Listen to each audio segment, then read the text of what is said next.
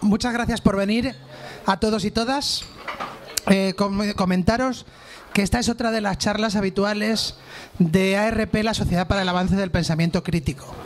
Eso pertenece al roll-up este que tenemos aquí al lado y tenemos algunos fascículos sobre la asociación también delante. Comentaros que pasado mañana se van a cumplir 30 años desde el acto inicial en el que se fundó esta organización. Y curiosamente, con esos 30 años eh, se, inauguraron con el manifiesto de una persona que era Mario Bojoslaski. Entonces, en el nombre de esa persona, eh, todos los años entregamos un premio, un premio a la labor de una persona que haga en favor del escepticismo y del pensamiento crítico. Y el presidente de ARP, hoy aquí presente, va a entregar ese premio a la persona que es Julián Rodríguez. Por favor.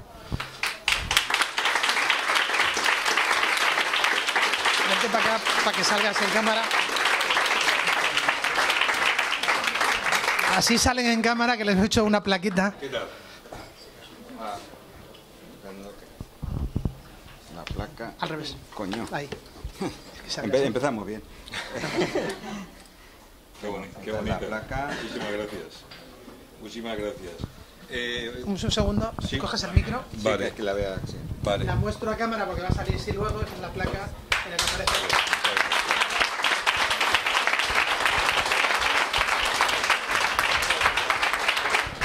bueno, ah, perdón, sí. unas palabras porque él está como con una asociación que es para la protección del enfermo de las terapias pseudocientíficas y es una de las partes de este premio. Sí, yo más que unas palabras quiero... Eh, eh, ¿Puede coger el sobre por la parte de abajo? Vamos a ver, yo cuando me dieron este premio el, año pasado me dijeron que había sido premiado, para mí no fue ninguna alegría. Porque el hecho de que yo esté aquí y el hecho de que yo recibiera este premio fue como consecuencia de que Mario Rodríguez, mi hijo, muriera, muriera porque en España todavía eh, sanidad, los inspectores de sanidad eh, no hacen cumplir las leyes que nos protegen y leyes que sí existen y todavía eh, y, también incentivan de alguna manera el pensamiento mágico en las personas que yo considero que está, está incentivado de manera eh, deliberada. En resumidas cuentas, como comprenderéis para mí, Julián, te hemos premiado, pues a los compañeros y a las compañeras agradezco que pensaran conmigo, evidentemente, pero ahí tengo a mi amigo Manolo que el otro día lo comentamos, digo, pues para mí no fue ninguna satisfacción por lo que conlleva. Simplemente he querido aceptar la invitación de estar aquí hoy, mm, eh, muy gustoso, y, recoger el premio para hablar precisamente de lo que estoy hablando. La importancia, la importancia de este tipo de asociaciones, la importancia de estos colectivos y de este movimiento para que esta persona de 21 años que podía estar hoy tomándose unas cervecitas con nosotros, hoy no esté, porque se cruzó en su camino un tal José Ramón Llorente López que se presentó como médico, su madre muy amiga de las pseudociencias y muy enemiga de la ciencia, y se juntaron una serie de circunstancias que conllevaron el drama. Simplemente quería comentaros un poquito el, motivo de que me hayan premiado, que no es otro que ese. Muchísimas gracias.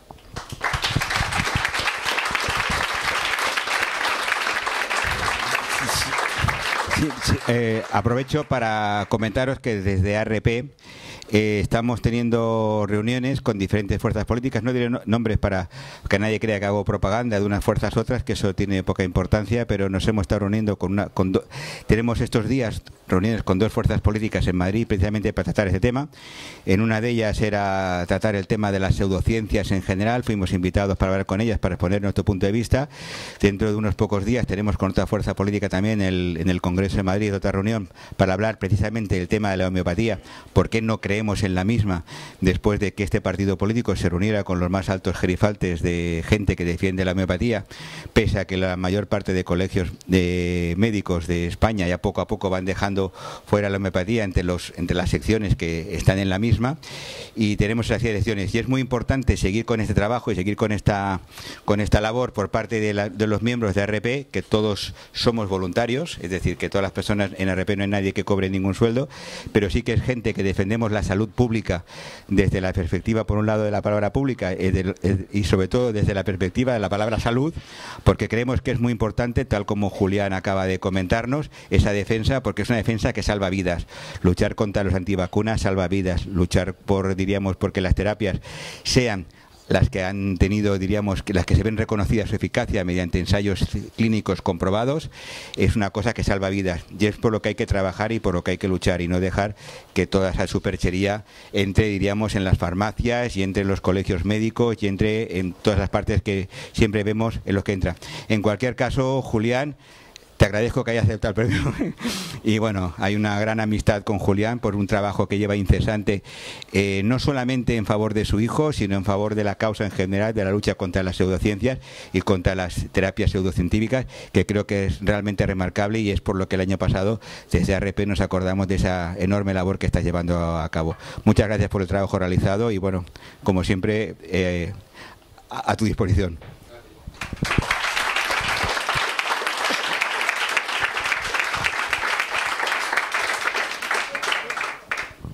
Bueno, y comentar que este premio que se le otorga a Julián era antes de pertenecer a nuestra asociación, en el cual ahora es miembro de honor. Pero para los que sí que son miembros de la asociación, pero aparte tienen una labor distinguida por la difusión, por la lucha contra las pseudociencias, por la difusión de la ciencia, por los valores y otra serie de cosas, hay otro premio que se llama la lupa escéptica. Ese es un premio interior de nuestra organización y tenemos el lujo de dárselo a JM Mulet, aquí presente.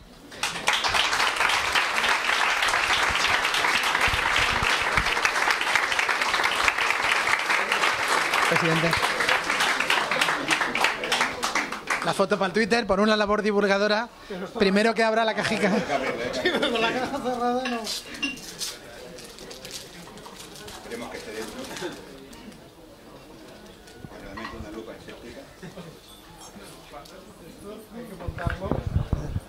es, de Ikea, ¿eh? es que es de Ikea y hay que montarlo. ¿Ah, no?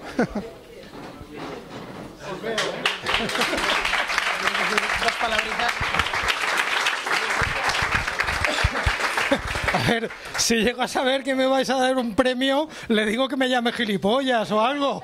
Así, la lupa es más grande. Bueno. Es que por lo que te llamó, tampoco, sí. tampoco va a dar para más. Bueno, no habéis venido a oírme hablar a mí, sino, sino a Alfonso. Y entonces, nada, solo daros las gracias. Como siempre digo, hacemos lo que podemos, que nunca es suficiente, pero se hace lo que se puede. Y hombre, para dedicar este premio, pues yo creo que me acuerdo mucho de tu hermano, que fue una pérdida que sentimos mucho y después de lo que ha dicho Julián y toda la lucha que está teniendo por lo que le pasó a su hijo Mario, ¿qué coño voy a deciros yo? Venga, disfrutad de la charla. Gracias.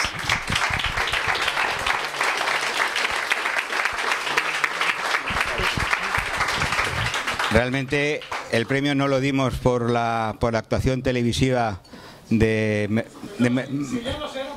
sí, sino por la labor que lleva desde hace muchísimo tiempo desmontando mitos desde dentro de la entidad, eh, con toda esa enorme cantidad de libros que supongo que muchos de vosotros y de vosotras también habéis leído y habéis tenido el placer de leer, si no en diarios, en revistas, sus aportaciones o escuchar en sus charlas.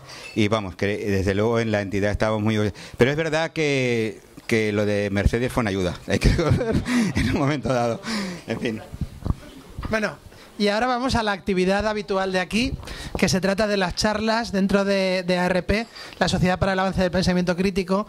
Seguimos esta, esta corriente de charlas de escépticos en el PAF que nace en Inglaterra en 1999 y aquí llevamos ya varios años, unas cuantas charlas, y en este caso tenemos el lujo de contar con el presidente de nuestra asociación, que nos va a dar una pequeña charla acerca de los temas que aparecen en la historia habitualmente en sitios como en Cuarto Milenio, que son muy fans de decir que las pirámides las han hecho los extraterrestres y cosas de esas.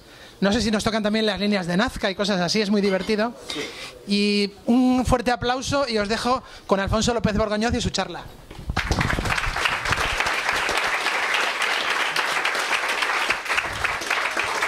Muchas gracias. Eh, un momento que me acabe de preparar aquí el chiringuito. Eh, muchas gracias por haber venido y por estar aquí para escucharme. Eh, creo que Lo de Julián realmente ha sido muy emotivo, el trabajo de, de Molet también lo es y todos lo conocéis. Yo intentaré hacer algo que, que yo modestamente creo que es muy importante porque tenemos que pensar que realmente si hubieran venido astronautas en la antigüedad a visitar la Tierra, es una cosa, diríamos, muy importante para, para la humanidad. Es decir, haber podido tener la presencia hace 5.000 años, hace 3.000 años, como mucha gente defiende, de estas personas que venían y que de golpe podían construir el último, el último eslabón de, de la pirámide de las pirámides de Gizeh, pues la verdad hubiera, estado muy bien. Pero que esto es tecnología nueva y aún no lo sé manejar muy bien. No me pasa. Ah, es al revés. No, no he sido yo. He sido yo. Vale. Sí, sí, sí, sí.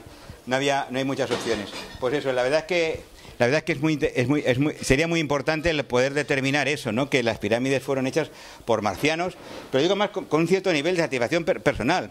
Yo me inicié en, en la, a mí la arqueología me había gustado siempre, pero es verdad que cuando tenía tenía 15 años, yo leía bueno, eh, muchísimo a Eric von Daniken y de hecho me quería todos sus libros porque me parecía completamente normal lo que explicaba.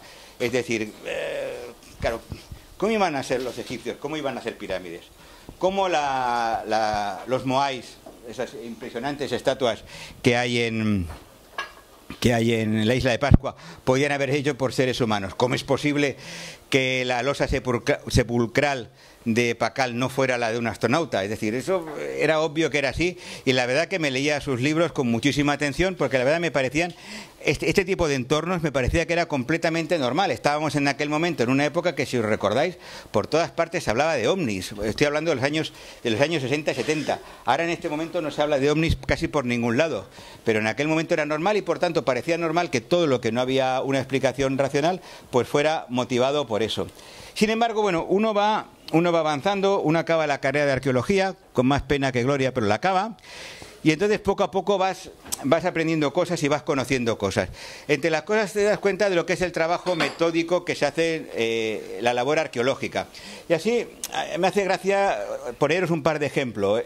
Por ejemplo, que entre los restos más antiguos de pulgas encontrados fuera de América se ve que las pulgas es un animalito cariñosísimo muy vinculado con los seres humanos desde hace muchísimo tiempo, que surgen en América, acompañando a las ratas en un momento dado, pasan el estrecho de Bering en sentido contrario y vienen aquí a, a, a, digamos, a Asia y después a Europa, y, y se han encontrado excavando excavando en las, en las, en las ciudades artesanas de Telamarna, se han encontrado 39 especímenes de pulgas. Pero no solamente se ha encontrado esto, sino que incluso en una de ellas, fruto de las investigaciones, se ha encontrado la bacteria de la peste bubónica. Es decir, que las investigaciones han conseguido encontrar que, una, de estas, una de estas pulgas estaba, diríamos, tenía en su interior, se pudo ver que tenía la peste bubónica. Eso posibilita que se crea ahora de que igual antes se creía que la peste bubónica en el siglo XIV, que estuvo por toda Europa y que causó aquella gran mortandad, antes se creía que había llegado desde la India, pero es posible que llegara desde el Nilo. Y entonces, bueno, lo que podemos ver es que la vida no, no, no debía ser muy cómoda. Pero además de, de esto es una foto de la bacteria de la peste bubónica, lo digo porque seguramente hay gente que niega que esto exista también, ¿eh? como niegan que exista el SIDA cosas por el estilo. Bueno, por menos una foto para que se vea que la enfermedad. Y entonces eh, se ve también que se han descubierto, haciendo excavaciones en Egipto, que el pan que comían no era demasiado bueno. No sé cómo es el que coméis vosotros, pero el, de ellos estaba lleno de bichitos y tenían como unos escarabajos microscópicos.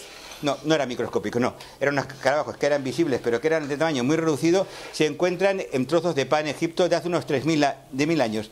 Es decir, en el mundo Egipto lo que hemos encontrado es que había muchas cosas. La investigación científica ha sido capaz de determinar que hemos podido encontrar eh, la bacteria de la peste bubónica, hemos sido capaces de encontrar pequeños escarabajos metidos dentro del pan. Es decir, la labor de los arqueólogos, que en principio es una labor científica, o debería serlo, seria, metódica y racional, es capaz de encontrar un montón de datos en el pasado. Pero nunca encuentra nada que tenga que ver con extraterrestres, nunca encuentra nada que tenga que ver con atlantes. Es decir, que que fijaros a qué nivel estamos encontrando eh, todo tipo de cosas de hace eh, 4.000 o 5.000 años y sin embargo somos incapaces de encontrar nada nada, nada que nos haga ver que fuimos visitados en la antigüedad absolutamente por nadie. Y eso realmente no deja de ser curioso porque cuando uno hace una, una investigación te vas dando cuenta que igual no hubo en ningún momento ni marcianos, ni jupiterinos, ni saturnianos en ninguna parte, ni entonces como tampoco los hay ahora. Es decir, eso es una cosa que realmente es muy posible. Y es por eso, en base a eso, que veo que la no cabe, eh, vamos a intentar hacer un viaje por lo que son, eh, ver un poco cómo se hicieron las pirámides egipcias, ver un poco, estudiar un poco las losas sepulcrales mayas y ver un pelín los moáis de la isla de Pascua. Intentaré ir rápido porque son tres temas, hay, un montón de cosas para hablar, pero vale, la pena el hacer un breve repaso de las mismas, más que nada para darnos cuenta que lo que es importante de todo esto es ver que aquello que yo creía de pequeño, que cómo iban a hacer los seres humanos todo esto, eh, no solamente es posible, no solamente es lo más probable, sino que además hay abundantísimos eh, trazas y restos que demuestran que esto fue así. Entonces, eh, sobre la, hay que decir que sobre exactamente sobre el método de construcción de las, de las pirámides cómo se hicieron las mismas en todo detalle es muy difícil llegar a ello. Es decir, hay una serie de, datos que sí que nos acercan muchísimo a las mismas, pero sí que ya veréis vosotros que hay una serie de hipótesis que siguen estando meramente a nivel de hipótesis y que realmente merecerán que haya más investigaciones para acabar de remarcar, para acabar de aclararlas. Evidentemente, eh, esas dudas se pueden aclarar mediante el análisis científico y el razonamiento lógico o de cualquier manera. Evidentemente, lo mejor es mediante el razonamiento lógico, pero la verdad es que todo se ha dicho que la investigación seria nunca es fácil. Tratar de abordar con seriedad, con método, los diferentes problemas que nos presenta la investigación, hace falta muchas ayudas, como se puede comprobar, y hace falta que de alguna forma se haga un gran esfuerzo por parte de los científicos para llegar a ella. Es mucho más sencillo tomarse un carajillo de ron y decir, bueno, pues las pirámides fueron hechas por marcianos, o fueron hechas por telequinesis, o fueron hechas por cualquier otra técnica que a uno se le pueda llegar a ocurrir. Eso es más sencillo. El llegar a descubrir realmente por un método racional cómo se hicieron las mismas o cómo se pudieron llegar a construir cuesta bastante más esfuerzo y desde luego es es una, es una cuestión que da más trabajo. Aquí tenemos, por ejemplo, simplemente para enmarcarlo, las tres grandes pirámides que hay en Gizeh, en Giza, eh, la de, con los nombres modernos y los, antiguos de origen griego, son todas de mediados, de, mediados del tercer milenio antes de Cristo. Hay que decir al respecto que se construyeron las tres más grandes y una cuarta que fue destrozada porque se, utilizaron para hacer como cantera para, por, por, los romanos, fueron hechas todas en el lapso de unos 80 años, las más grandes. Aquí tenemos una, foto de las mismas, pero hay muchísimas pirámides en Egipto, y además a lo largo de muchísimo tiempo. Las pirámides en Egipto no son las tres mastodónticas que hemos visto ahora de mediados del siglo III, sino que hay un montón de, las mismas, de diferentes tamaños, en diferentes lugares, y, se van, y los vamos teniendo a lo largo del tiempo. Simplemente que los vayamos, pasaré unas cuantas rápidas para que veamos las tipologías. Esta se dice que es posible que se equivocaran con la inclinación y que luego tuvieron que remediarlo en la parte superior. Yo la verdad es que no lo creo. Yo supongo que debió ser algo voluntario porque los conocimientos por parte de los egipcios, cuando se dice temas, incluso por arqueólogos serios, quiere decir que no conocen demasiado bien las técnicas constructivas de los, de los egipcios, porque saber que esta curva, esta, esta recta casi tiende infinito cuando uno hace una pirámide, eso ellos eran muy, era muy fácil de calcularlo.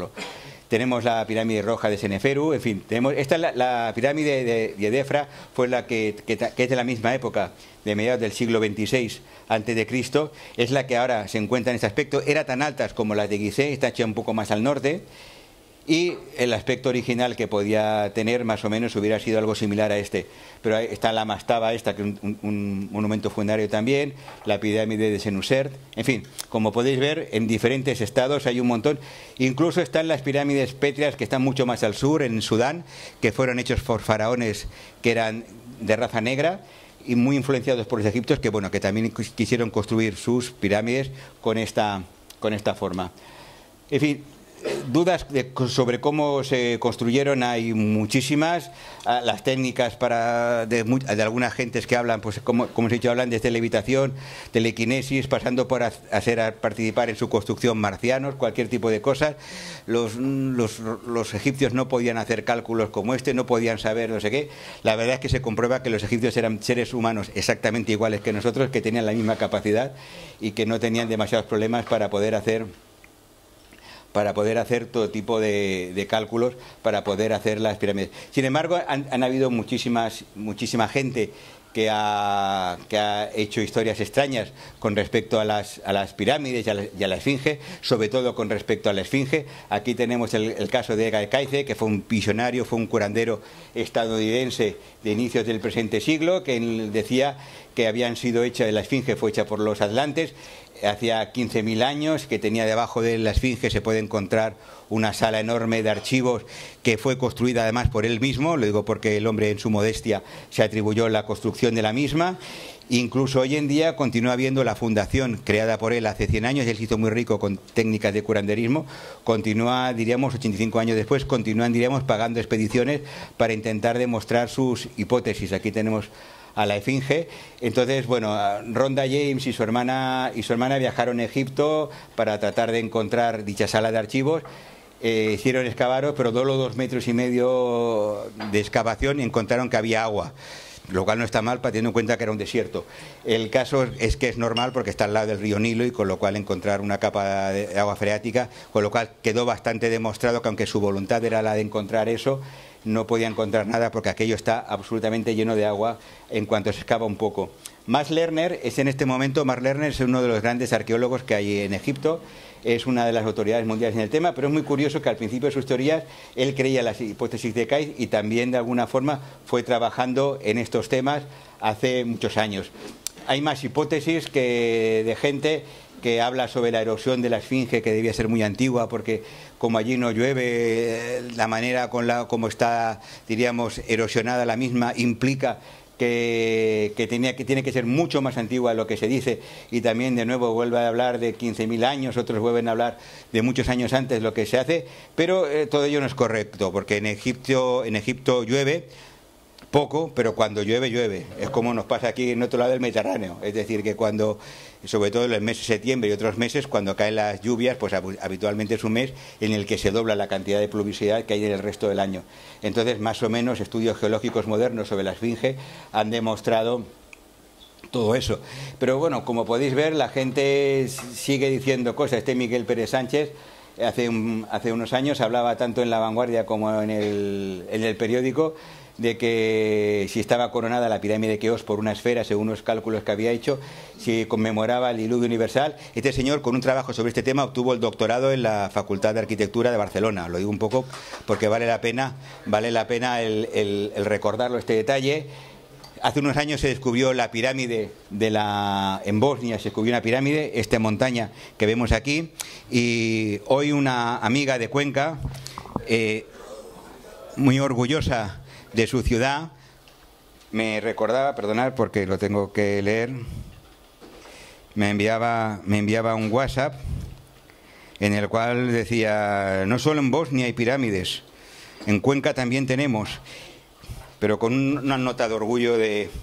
Ay, se me, ha, se me ha borrado. Bueno, pues el caso es que hay una montaña parecida en Cuenca, en, en la zona de Cañete, en que la gente está lado de un, al lado meando de un río, es que no me acuerdo ahora el río, pero el caso es que también hay mucha gente en el lugar que defiende que es una, es una especie de figurat que está enterrado y está exigiendo a la Junta de Castilla-La Mancha que por favor haga excavaciones arqueológicas porque seguro que ahí hay también una pirámide similar a la que está así. Es una montaña que es verdad que tiene forma piramidal, pero vamos, que, que, que obviamente es, completamente una montaña normal, se han hecho algún tipo de cata sobre el terreno y tal, y, parece ser que los datos que nos proporciona el terreno pues habla de que en Cuenca, por desgracia, posiblemente, como pasó con la pirámide de Bosnia, posiblemente es una montaña normal y poca cosa más.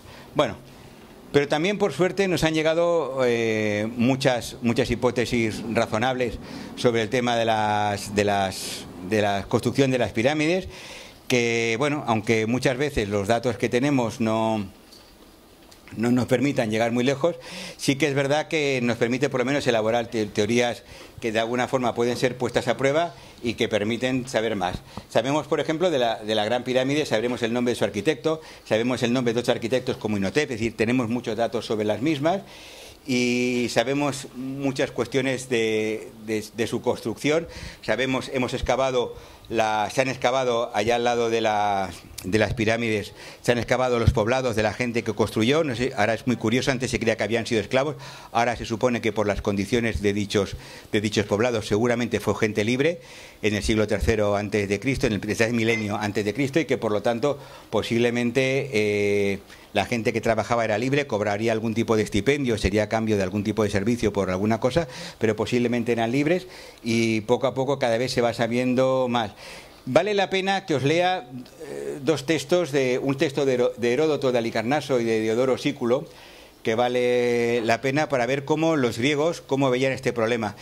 Diodoro, eh, eh, Heródoto de Alicarnaso vivió aproximadamente en el siglo VI, V antes de Cristo. Diodoro Sículo vivió mucho después, en, en, el siglo I antes de Cristo.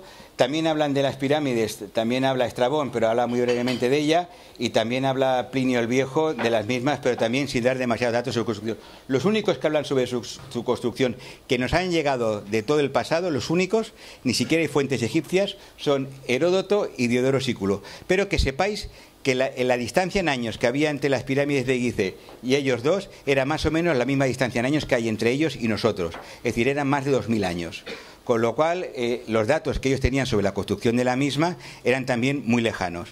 Pero, sin embargo, ambos se intentaron dar una explicación racional de las mismas. Si me permitís, voy a intentar, supongo que conseguiré, leer lo que ellos escriben, porque tiene, tiene su gracia. Es decir, ellos, que estamos en, hace dos mil años, no intentan en ningún momento hablar de dioses, no intentan hablar de cosas raras.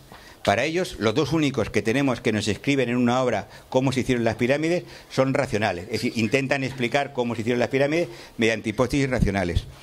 Me he puesto la letra muy pequeña, no veo bien, pero espero que seré capaz de leerlo. Bueno, a ver. Eh, para Heródoto, la pirámide fue edificándose de modo que en ella quedasen unas gradas o pollos que algunos llaman escalas y otros altares. Un momento que paso a la siguiente diapo. Que aún es más, aún es más clara. Eh, hecha así desde el principio la parte inferior, iban levantándose y subiendo las piedras ya labradas con cierta máquina formada de maderos cortos que, alzándolas desde el suelo, las ponía en el primer orden de gradas, desde el cual, con otra máquina que en él tenían prevenida, las subían al segundo orden, donde las cargaban sobre otra máquina semejante, prosiguiendo así en subirlas. Pues parece que cuantos eran los órdenes de gradas, tantas eran en número las máquinas. O quizá no, siendo más que no siendo, o quizá no siendo más que una fácilmente transportable, la irían mudando de grada en grada cada vez que la descargasen de la piedra. Qué bueno es, y aquí él hace un comentario que a mí me parece interesante, de qué bueno es dar de todo diversas explicaciones cuando no hay certeza pero da explicaciones racionales. Es decir, no dije, o quizás vino un ovni. No. Él da explicaciones de que igual esta misma máquina solamente iba una, pero le iban subiendo porque no pesaba mucho. Eh, así es que la fachada empezó a pulirse por arriba, bajando después consecutivamente, de modo que en la parte inferior que estribaba en el mismo suelo fue la postrera en recibir la última mano. En la pirámide está notado y esto también es una cuestión que vale la pena eh, recordarlo, en la pirámide está anotado con letras egipcias cuánto se gastó en rábanos, en cebollas y en ajos para el consumo de peones y oficiales. Y me acuerdo muy bien que al leérmelo el intérprete me dijo que la cuenta ascendía a 4.600 talentos de plata. Y esto es así ¿A cuánto diremos que subiría el gasto de herramientas para trabajar y de víveres y vestidos para los obreros, y más teniendo en cuenta no solo el tiempo mencionado que gastaron en la fábrica de tales obras, sino también aquel, y a mi entender debió ser muy largo, que emplearían así en cortar la piedra como en abrir la excavación subterránea? Es decir, fijaros vosotros que incluso él dice que ha visto en la pirámide inscripciones en que habla de cosas normales, habla de cómo se pagaban las cosas, de los obreros, de cosas normales. En ningún caso le hace falta a él, digamos, inventarse ningún dios ni ninguna cosa extraña para hablar. Estamos hablando de un señor que vivía en una época en que vivía, diríamos, hace 2500 años. Es decir, que podíamos pensar que en una época en que los dioses abundaban, sobre todo en Grecia, abundaban tantísimo, la explicación más normal para hablar de todo esto podía ser hablar de eso. Pero no. Diodoro Sículo, siglos más tarde, escribe, la pirámide mayor, la de Keops, que es un cuadrilátero por su forma, tiene cada lado de 7 pletros. Un pletro viene a ser unos 30 metros. En la base altura más de 6 pletros. Y adquiriendo poco a poco aproximación hasta la cumbre, cada lado termina, termina de 6 codos, que son aproximadamente medio metro. Y está construida toda de piedra dura, de elaboración difícil, pero de duración eternas. Pasados, como afirman, no menos de mil años hasta nuestros días, o como algunos escriben, más de 3.400 años, las piedras siguen conservando hasta ahora su disposición del, del principio e intacta toda su construcción. Y se dice que la piedra fue traída de Arabia desde mucha distancia y que la construcción se produjo mediante terraplenes no descubiertas aún las máquinas por aquellos tiempos. Con eso es una crítica a Herodoto. A Heródoto, perdón. Él cree que lo de las máquinas que dice Heródoto no podía ser porque en aquel tiempo no estaban descubiertas. Se equivoca Teodoro Sículo, máquinas habían, pero en cualquier caso no es lo que importa en este momento. Y lo más extraordinario, habiéndose construido unas obras tales y siendo arenosos todo el lugar circundante, no queda ninguna señal del terraplén ni del tallado de las piedras de manera que no parecen trabajos de hombres hechos no, parecen trabajos de hombres hechos poco a poco sino como si toda la construcción hubiera sido colocada en conjunto por algún dios en la circundante algunos egipcios intentan contar prodigios sobre eso diciendo que formados con sales y natrón, que es carbonato sódico, los terraplenes, el río lanzándose contra ellos los disolvió y los hizo desaparecer totalmente sin actuación manual. Pero él viene a la racionalidad. Pues haber hablado de los dioses y de esos prodigios, de cosas, dice, pero esa no es ciertamente la verdad, sino que toda la obra fue devuelta de nuevo a su disposición anterior mediante la mucha mano de obra que levantó los terraplenes, 360.000 hombres, calcula él como afirman, se ocuparon de los cometidos de las obras y toda la construcción alcanzó su culminación con dificultad pasados 20 años. Es decir, lo que observamos de estas dos únicas fuentes por escrito que en la antigüedad nos hablan de cómo se construyeron las pirámides es que no les hizo falta inventarse tonterías. Intentan dar una hipótesis lógica. Ambas hipótesis son diferentes, pero de alguna manera eh, ambas podrían ser tanto la hipótesis de las máquinas como la hipótesis que dice Diodoro Sículo de los terraplenes. Cuando habla de terraplenes, posiblemente lo que está hablando es de algo similar a las rampas, que es la hipótesis más extendida hoy en, día, que era que mediante rampas subían para arriba, que eso lo veremos, subían las losas hasta arriba, pero de alguna forma, como podemos ver, no les hacía falta inventarse nada absolutamente raro para intentar entender cómo se habían hecho las pirámides. Entonces, eh, Espera, paso por aquí, disculpar. Estoy más cómodo para... Entonces, simplemente para que sepáis la altura de los... Tenéis un, poco algunos datos sobre la misma. Estas son las medidas, según dijo Diodoro, según dijo Heródoto, las medidas originales, tal como están calculadas ahora, y las medidas actuales de las tres grandes pirámides. Deciros, eh, claro, es que yo, yo vivo en Barcelona. Eh, en Barcelona, la montaña de Montjuic, que igual alguno conoce, que está al lado del puerto, mide unos 170 metros, es decir, es poco más alta que esta pirámide. cuando uno llega a Barcelona, eh, mira la montaña de Montjuic, uno la ve sensiblemente alta. Lo digo porque eh, estamos hablando de que las pirámides son realmente altas y si alguien está en Egipto y la está viendo, se da cuenta que además en aquel paisaje destacan poderosamente. Bueno, pues por lo que se cree ahora, eh, todos los sillares fueron extraídos de canteras muy cercanas, tan cercanas como que están a unos 100 metros como mucho de las, de las, mismas, de las mismas pirámides que, que hay, por ahí. Seguramente eh, se, se, movían mediante una serie de, de, trineos que se deslizaban sobre troncos transversales lubricados con barros o directamente por encima de la arena sobre la que se vertía una cierta cantidad de agua para facilitar el movimiento de los trineos por encima. Eso es muy curioso. Ahora, luego lo veremos. voy a avanzar un poco, si me permitís. Ahora, esto de aquí. Es decir, hay algunos hay algunos eh, bajorrelieves que muestran cómo se está tirando, vertiendo un líquido por encima del trineo. Entonces, lo que se ha comprobado ahora mediante arqueología experimental y mediante la lógica es que mover un trineo por encima de la arena es muy jodido, sino intentarlo en una playa. Si hay muchísima agua es muy complicado porque se vuelve fangoso el terreno y es imposible moverlo. Lo que se ha comprobado es que la mejor manera de mover pesos por encima de, la arena es vertiendo una cantidad de agua ni muy grande para que se embarre, ni muy pequeña para que siga siendo arena, que cambie un poco la textura de la misma y entonces es, es muchísimo más fácil el mover eso. Entonces es curioso porque esa hipótesis se puede ver reflejada en eso. Antes se creía que esto era algún tipo de líquido ritual que se tiraba, diríamos, delante de la de los trineos cuando se transportaban grandes piezas y es posible que el origen fuera mucho más prosaico, que fuera simplemente para conseguir una textura en la arena que facilitara el transporte de estos objetos tan pesados. Vuelvo para atrás.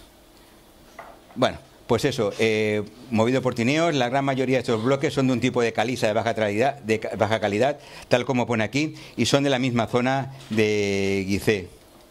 Entonces aquí podéis ver las pirámides y podéis ver los, bloques. Estos bloques, estas calizas que están justo al lado de las pirámides, eh, tienen un determinado grosor las mismas, están separadas por capas de arcilla y es curioso porque se puede comprobar cómo las hiladas de, bloques que tiene tanto la esfinge de Gizeh como tienen las pirámides se corresponden con extractos geológicos, con estas capas separadas por arcilla que tenían estas calizas que tienen por el, por el terreno. Entonces, bueno, es muy sencillo, como se puede comprobar, el que las fueran tallando y trabajando por la zona. Entonces, aquí vemos una fotografía de esas canteras con resto de estación de bloques y al fondo se ve la pirámide de, esto ya lo hemos visto antes, transportando esta, esta figura. Aquí vemos otro sistema de transporte, como podéis ver, no hay ningún misterio en este sistema de transporte, sino que todo siempre es eh, absolutamente normal.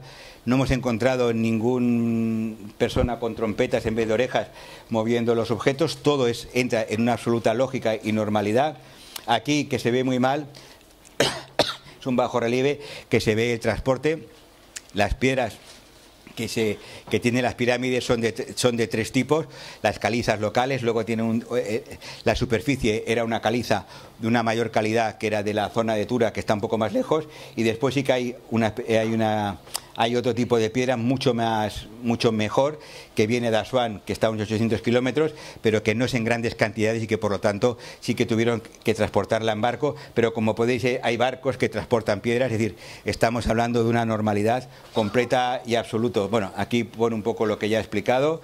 Eh, la caliza se puede trabajar sin ningún problema. Recordemos que en el, que en el año a mediados del tercer milenio las herramientas eran o bien de piedra o eran de cobre.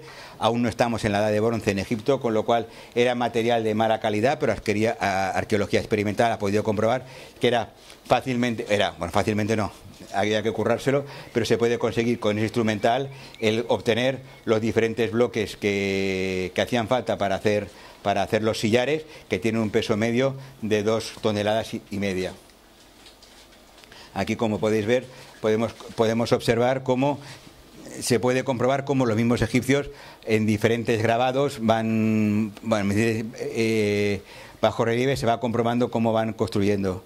Aquí tenemos eh, sillares, algunos podéis comprobar que tienen diferentes tamaños y lo mismo es porque iban sacándolos a medida que iban sacándolos de bajo tierra y se corresponden exactamente con los estratos geológicos que tenían, que encontraban. Entonces, el, misterio que seguimos teniendo es sabemos cómo los pues suponemos cómo los transportan porque tenemos tal pero no hay ninguna imagen que nos enseñe claramente cómo subían las piedras hasta arriba. Y eso es una dificultad más grande de la que parece. Es decir eh, Diodoro Sículo da una explicación sobre cómo es la misma Heródoto da otra y ahora tenemos otro. Entonces Ahora se supone básicamente que debió ser una rampa en espiral de adobe que circunvalaba completamente la pirámide en construcción. Aquí tenemos tres modelos, o bien podía ser una rampa frontal o una rampa en curva o este tipo de, rampa. El problema que tienen estos, estos sistemas es que, es que lógicamente tiene una dificultad. Es decir, cuando uno está estirando un peso, y necesitas un montón de gente para estirarlo, necesitas una cierta distancia. Entonces, no queda claro cómo superaban las curvas, ni siquiera como hipótesis racional. No está claro. Es decir, aquí falla algo. Aunque hubiera sido una curva, estirar en una curva un bloque tan grande como son estos tampoco es tan sencillo. Es decir, no.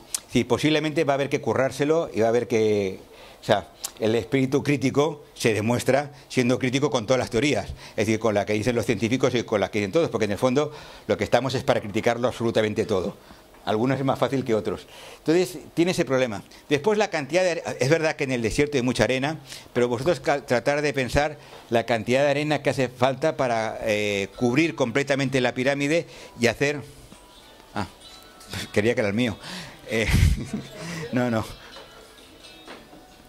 Pues el caso es que eh, cubrir todo esto con una enorme cantidad de arena ya era algo que preocupaba a Diodoro Sículo, tal como hemos visto antes, que no entendía él cómo hacía y que él suponía que, bueno, capazo a capazo, los mismos obreros que habían construido la pirámide le iban desmontando.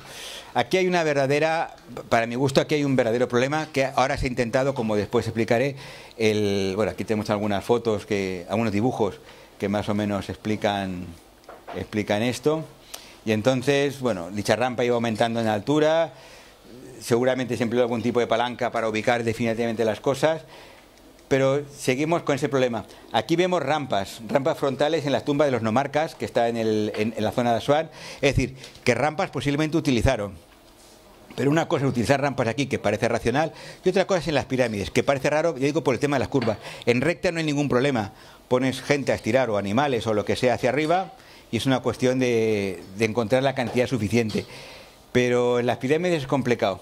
Esto ha hecho que Davidovich, que es un, ingeniero químico francés que, es el que creo que inventó los geopolímeros, o si no lo descubrió él, eh, es una persona que más lo ha trabajado, haya pensado que posiblemente eh, la técnica constructiva, las piedras no fueran piedras talladas, aunque por las canteras parece que sí que lo fueron, sino que lo que él supone que es posible que fueran, diríamos, una especie de, hormigón hecho en base a, a, a, a una serie de componentes que se ponían, que se, que se mezclaban con el agua del Nilo y que eso hacía que fuera mucho más sencillo subir, que no hacían falta rampas ni nada por el estilo. Eran, diríamos, como una especie de cemento que se podía ir subiendo en la parte de arriba, se mezclaba arriba con agua y con mediante un encofrado se podía hacer las formas. De hecho, ha tenido algunos éxitos y algunos, y algunos científicos han, comprobado que más o menos las sillares que se encuentran en, las pirámides podían tener que ver con algo de esto, pero también tiene, presenta muchísimo más problemas que ventajas por muchísimas razones. Es decir, la hipótesis científica, el Davidovich es científico, hay otros científicos que también lo están, diríamos, apoyando, pero creo que el ver, diríamos, sobre la Tierra todos los, todas las marcas que dejaron los canteros al, extraer los bloques es algo que le va a costar mucho superar. Y bueno, esta imagen bucólica nos permite eh, olvidarnos eh, por el momento de las pirámides y pasar al mundo de, de los mayas y ver la famosa losa sepulcral del rey Pacal. Esta supongo que la habréis visto porque esta es la de siempre. Es decir, esta es la que a mí fue- eh, para mí era la prueba más clara de que realmente habían venido los marcianos. Lo de las pirámides podría ser que no, pero este señor está claramente manipulando mandos con sus manos, está sentado sobre una tobera, está hablando por un micrófono con alguien que no que no se sabe quién es y parecía claro que, que bueno que esta persona había había hecho un viaje espacial, pues eso, en el mundo maya del siglo del siglo IX después de Cristo. Entonces, ha habido gente que con un esfuerzo superior ha empezado a, dar, eh, diríamos, ha, hecho estos juegos para demostrar cómo es absolutamente lo mismo lo que se ve en un lado en otro. Tiene pequeños problemas, esto desde la perspectiva de, una perspectiva de la astronáutica, que cualquier persona que sea sometida a la aceleración que supone esto no puede estar manipulando objetos, eso no pasa en los cohetes. En los cohetes la gente está puesta así, porque no puede aguantar la enorme presión que, que, supone el vencer lo que es la, la velocidad de escape que se necesita para salir de la Tierra. Y entonces, si salía fuego por detrás, como ellos suponen que salía, no podía estar manipulando mandos como si estuviera en un avión. Y si, y si de alguna forma eh, estaba manipulando mandos, debía estar en el espacio, con lo cual ya no había fuego por detrás. Pero bueno, de todas maneras, podría ser, podía, podía ser un reactor o alguna cosa extraña. No tenía por qué ser, no tenía por qué ser esto. Entonces hay otros que también hemos encontrado por ahí porque me parecía otras hipótesis que también hablan de esto. En este caso el creador, Señor del Agua, que es un genetista sirio, tal como se ve en grabados sumerios. Los sirios y los sumerios tenían poco que ver ni en grabados mayas, atlantes de Palenque, modificando en el árbol de la vida la genética humana. Todo esto captado de esto. O sea, que está modificando la genética humana, se ve simplemente, han sido capaces de comprenderlo simplemente mirando estos dibujos. La verdad es que la, cuestión es mucho más sencilla. Eh, Pacal era, fue el señor de la ciudad de Palenque. Palenque está situada aquí, al sur de México.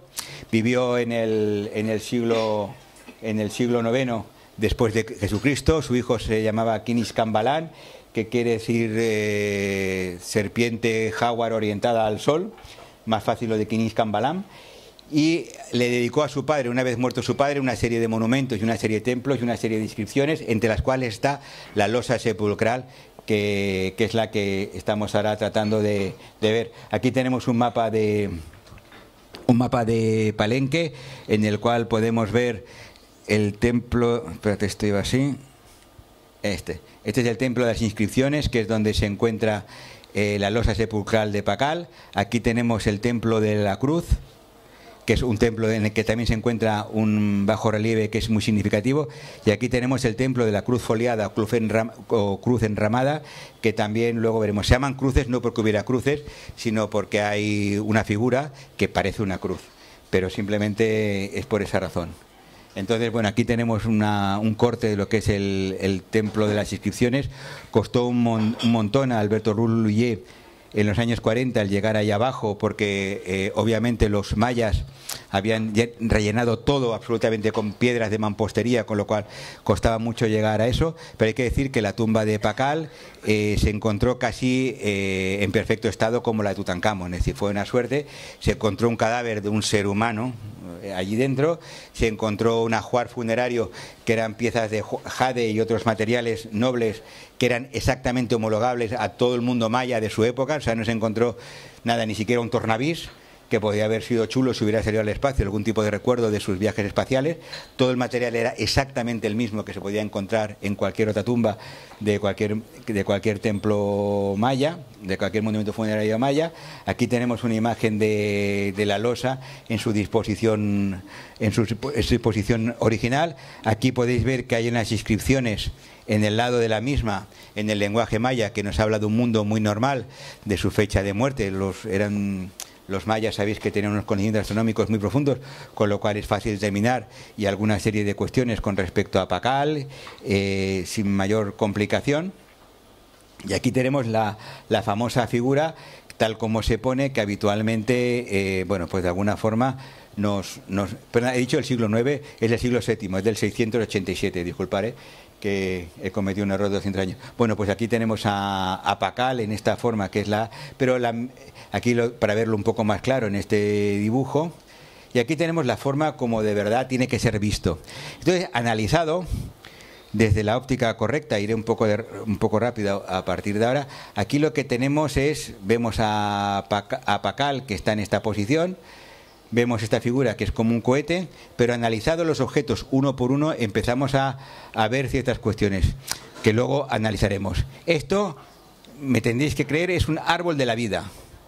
Es un árbol de la vida que fijaros que tiene un poco de forma de cruz, porque aquí al, lado tiene, diríamos, dos cabezas que son de maíz. Luego lo veremos más claro en otros grabados similares, ¿eh? en otros paralelos. Aquí tenemos una serpiente con dos cabezas. Y esto que tenemos aquí, a poco que os fijéis un poco, podéis ver que es un, que es un demonio.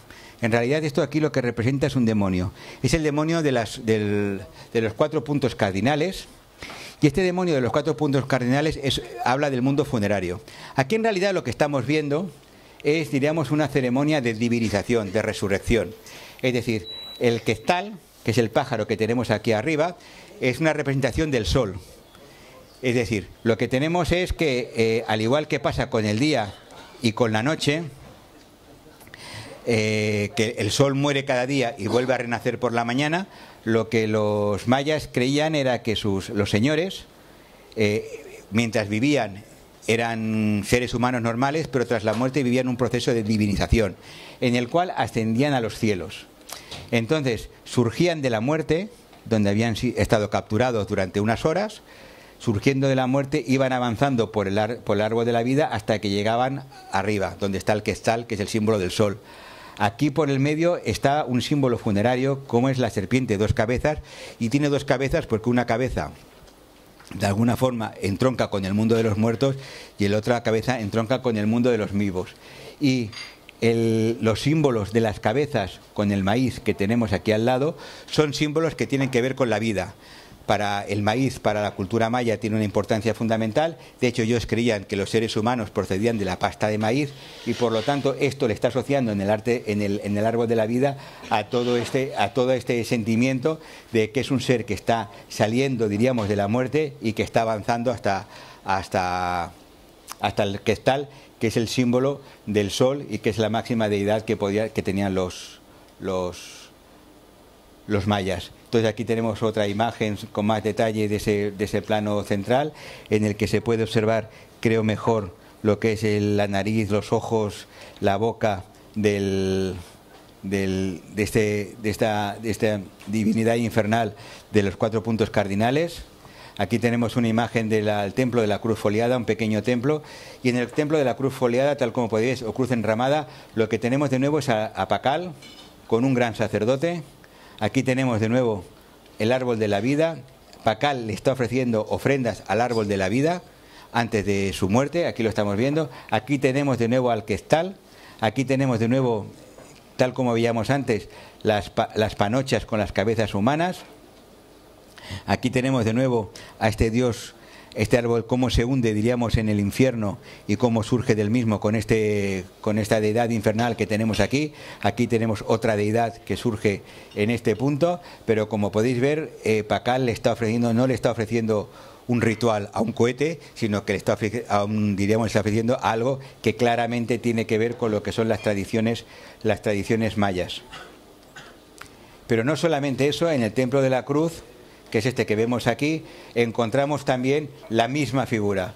Eh, de nuevo tenemos el árbol en forma de cruz, coronado por un pájaro gestal, con una serpiente alrededor de sus ramas, lo paso rápido, aquí podéis ver la serpiente, aquí tenemos de nuevo las cabezas con las panochas, tenemos aquí al gestal en su parte superior, aquí debajo tenemos al demonio de este, este, demonio infernal de los cuatro puntos cardinales. Y como podéis ver tenemos lo mismo. A un sacerdote pequeñito que está ayudando en su ceremonia a Pacal enorme que está haciendo sus rituales con respecto al árbol de la vida, preparándose para ese viaje que tendrá que hacer después de su muerte. Y como podéis ver vosotros, eh, si uno de alguna forma no se centra solo en querer ver una cosa y darle la primera hipótesis que se le ocurre, sino que lo que intenta es realmente comprender las cosas, se da cuenta que lo que estamos hablando es una cuestión simbólica que era muy normal dentro de la cultura maya y que simplemente lo que aquí vemos es, perdón, que me he equivocado. Aquí lo que vemos es simplemente eso, lo que comentaba yo antes, que es cómo después de haber hecho todas las ofrendas pacal a este árbol de la vida para su ceremonia después de la muerte, como su hijo Kinish Kambalan en esta representación en su losa sepulcral, o él mismo antes de la muerte, ya previendo lo que son los hijos, ya se la dejó hecha por lo que pudiera ser, como vemos cómo eh, se representa a sí mismo surgiendo de, de, los infiernos de alguna forma y ascendiendo, diríamos, hasta el cielo del mundo maya, donde le espera ese dios del sol allá arriba, ese pájaro que es tal, que sale en otras muchísimas representaciones. Es decir, es algo que tiene paralelos frecuentes en el mundo maya, no estamos hablando de ninguna cosa extraña. Y si se ve, incluso si, si observáis los rasgos que se ven aquí de Pacal, se pueden ver que son los mismos rasgos, más o menos, aquí está un poco más gordete, pero que se pueden ver en otras figuras parecidas de Pacal que se encuentran por toda la zona. Y bueno, el último gran tema, porque ya no he querido meterlo de las líneas de, Nazca, porque ya era, ya era muy largo y no tenía nada que ver con él, no podía tener que ver, son, la, son los, los Moais de la isla de Pascua. Aquí, eh, aquí tenemos la isla de Pascua. La isla de Pascua, como sabéis, los europeos llegan en el siglo XVIII. Cuando llegan en el siglo XVIII se ven una, una población que está, la isla de Pascua ha tenido tres fases a su historia. un primer momento en el que llegan los primeros pobladores hasta la misma, un segundo momento que es la fase de construcción de todas las estatuas y una tercera fase que es la de decadencia, que es la de los últimos 100 años previos a la llegada de los de los primeros de un holandés y de los españoles que después finalmente toman el territorio. Es una isla realmente aislada. Eh, la isla más cercana es la de Pitcairn, que si aún ha visto la peli la del motín del Bounty, es donde van a parar los marinos ingleses después. La isla más cercana está a 1.800 kilómetros, o sea, es la distancia que nos separa más o menos de Ámsterdam. Es decir, está realmente muy lejos, son dos puntos en el mar. La costa de, Chile creo que es, ah, que, es, el estado en el cual está enclavado eh, la isla de Pascua, creo que está a 3.500 kilómetros y está realmente lejos y, es un punto realmente aislado. Bueno, eh, esta es la isla de Pascua. No eh, tuvo siempre una, una, una, cierta población, pero nunca excesivamente grande la misma. Y como podemos ver, hay una cantidad enorme de moais por toda la, por toda la isla eh, y, vale la pena un poco el tener esta visión previa para saber de qué estamos hablando. Eh, la primera pregunta, que como me la hacían y no la sabía, luego la miré, Moai es escultura en el idioma Rapanui. Uno le toca saber estas cosas para poder dar la charla. Eh, se conocen unos 877 Moais esculpidos, pero se supone que posiblemente hubo más de mil que llegaron a hacerse en un primer momento. Están distribuidos por toda la isla, 288 de ellos fueron transportadas hasta, hasta la costa y un 90%, un 90 de los transportados hasta la costa fue dirigido sobre una especie de plataformas ceremoniales. Un Moai promedio pesaría lo que aquí pone, unos 4 metros de alto aproximadamente y pesaría 12 toneladas y media. Eh, la mayor parte de ellos fueron el 95%, 97%, no me acuerdo ahora muy bien, fueron labrados en toba del cono volcánico del Rano Uraraku, que es uno de los volcanes más altos que hay en, en la isla, donde aún quedan 400 moais en diferente estado de construcción. Entonces, eh, toda esta fase en la que fueron construidos los moais es una fase que va desde el año 700 al 1600 aproximadamente, eh, todo después de Cristo. Aquí tenemos unas vistas de la montaña del Rano. La verdad que cuando uno ve estas vistas uno piensa que debe ser chula la visita a la isla de Pascua y no solamente por los moais.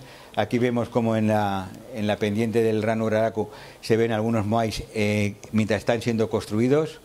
Aquí tenemos la cantera en la que se hacían los, la mayor parte de los moais, que es esta que estáis viendo aquí abajo. Entonces, los moais representaban quizás a los ancestros importantes de, la, de cada tribu. Hay que decir una cosa que en antropología es, muy importante, y eso eh, lo han aprendido los antropólogos los pueblos primitivos como los pueblos actuales, la gente miente, se olvida de las tradiciones, las va cambiando con el tiempo y son muy malos para recordar las cosas. Y, digo, y a veces incluso mienten. De manera que a veces las tradiciones orales, poder seguirlas, eh, gente que diga, o sea, los, los, primeros exploradores europeos que llegan así allí en el siglo en el siglo XVIII y comienzan a preguntar qué es lo que pasaba, que las personas que habitaban en ese momento ahí recordaran por qué en el año 700 eh, después de Cristo, mil años antes, se habían construido los primeros moais, es un poco incierto. Es decir, que y no hay, no hay ningún tipo de crónica escrita al respecto. Si ha costado encontrar de los egipcios, calcular aquí. Eso vale la pena porque para que entendáis la dificultad es dar explicaciones satisfactorias a las cosas. Ahora se supone que los Moai representaban a los ancestros importantes de cada tribu, que la isla estaba repartida en tribus, en diferentes tribus, y que cada tribu tenía sus propios Moais y sus propias y sus propias zonas donde construirlo. Entonces, eso intentaremos verlos un poco más, más tarde. Eh, hay, hay moais que son excepcionalmente altos, pero que no se han podido mover como este, el, uno que se encontró en el Rano Raraco, que mide casi 22 metros y su peso hubiera estado entre las 160 y las 180 toneladas. El más grande erigido mide la mitad, unos 10 metros de altura y pesa solo 5 toneladas, lo cual ya es. Y hay algunos mucho más pequeños, de un metro 13, vamos, por aquí. Lo cual este no debió costar tanto el moverlo. Entonces aquí tenemos el, el, más grande de los que la, mayor parte de ellos fueron derribados, los que ahora están de pie, que sepáis que han sido reconstruidos por la, administración pública de Chile y de la isla de Pascua. Entonces este es el más grande de los que estaban in situ y que fue derribado y aquí tiene un pujao que es una especie de gorro de color rojo que les ponían por encima. Entonces, todo parece indicar, por los restos arqueológicos que se ha encontrado, que la cantera fue abandonada repentinamente porque quedaron muchas estatuas a medio hora en la roca. 397 eh, moais, como podéis ver, casi la mitad de los que hay en la isla, se quedaron sin acabar en la cantera y 92 han aparecido con daños, se parecen abandonados en el camino del transporte hacia un Aju, que es el punto de la plataforma en la que estaban. De todas maneras, este dato, parece abandonadas, ahora se ha puesto en duda desde hace 10 años, pero lo veremos más tarde. Prácticamente todos los moais terminados fueron derribados, las estatuas se cayeron al poco tiempo de su erección, no habiendo pruebas claras si fueron derribadas en medio de una revuelta de origen social o se cayeron por causas naturales, no se sabe. Se supone que fueron por, causa, revueltas sociales, pero la verdad es que no se sabe en absoluto qué es lo que ocurrió con los mismos. Entonces, bueno, simplemente que tengáis aquí algunas vistas de estos, el moai gigante que no se pudo levantar y que sigáis viendo eso, algunos de los mismos. Estas son unas excavaciones que están llevando en el Rano Raraku. Bueno, entonces llevaban estos los pucaos por encima de, sus cabezas, eh, que no queda muy claro cómo, cómo, eran capaces de subirlas a las mismas, lo cual es un misterio, pero que supongo que es posible que fuera mediante algún tipo de plataforma de tierra, pero es algo que de momento tendrá que trabajarse mejor. Se descubrieron, se creían que eran elementos funerarios porque los ojos no se labraban en el... Los ojos, la parte del ojo no está, aquí no se ve bien, no estaba en las, en las, en las canteras, sino que se hacía en el último momento y se pensó durante un tiempo que es posible que tuvieran algún tipo de ligazón con el mundo funerario pero parece ser que se han descubierto que en las cavidades oculares podían colocarse placas de coral a modo de ojos, con lo cual es posible que no representaran seres muertos, sino que representaran de alguna forma algún tipo de ser vivo. Aquí tenemos una, una lo que antes he comentado de la, zona del ajo de Nau Nau, que de alguna forma vemos una serie de cómo debió ser en principio los mismos colocados, diferentes pucaos. Mondani, que en, su obra Recuerdo del Futuro señalaba que, era imposible que los habitantes de esa isla del Pacífico levantaran ellos solos, que no había madera suficiente, que su construcción se debió sin duda a la presencia alienígena y bueno, han seguido más que nada los paraarqueólogos defendiendo lo mismo desde entonces. Entonces, eh, bueno, la isla de Pascua es un ejemplo de cómo las cosas se van resolviendo con trabajo, con aquel esfuerzo del que antes hemos comentado mediante la técnica. Así, por ejemplo, la palinología ha sido capaz de descubrir en la isla de Pascua que es verdad que no hay muchos árboles en la isla de Pascua, pero es lo cierto que no los hay ahora. Precisamente los árboles en la isla de Pascua, la palinología ha demostrado que había numerosos árboles en la antigüedad en la isla de Pascua, pero posiblemente por culpa del ponerse como locos hacer escultura, hacer esculturas como estas y transportarlas por toda la isla, han perdido, diríamos, toda la riqueza del arbolado natural que sepáis que zonas como Grecia o como España tenían Ahora hay muchísimos árboles en España, pero que en la antigüedad tenían muchísimos árboles diferentes. Ahora vemos en la zona alrededor de Valencia, vemos enormes pinedas. Yo vivo en, Cataluña, allí también hay enormes pinedas, pero antes era normal. Lo normal es que hubieran eran, habían robles, habían encinas, había muchos más árboles. Lo que pasa es que los árboles de ese tipo lo que se empleaban era para hacer barcos y, para otro tipo de cuestiones, y ahora lo que hay son pinos que crecen más rápido y de alguna manera su plantación es más cómoda pero que hemos sido culpables nosotros del cambio, diríamos, del registro que hay de árboles en nuestros alrededores, posiblemente por, porque es la mano humana la que lo provoca, pero que allí había árboles y ahí se podía se podían de alguna forma todos los árboles que hacían falta para ello. Torre Yerdal, que tuvo algunas hipótesis curiosas sobre otros temas, haciendo también arqueología experimental, comprobó que en un año y con un grupo de solos y sombres se podía tallar entero de arriba abajo un moai lo que evidentemente podéis ver que no es ni mucha gente ni mucho tiempo.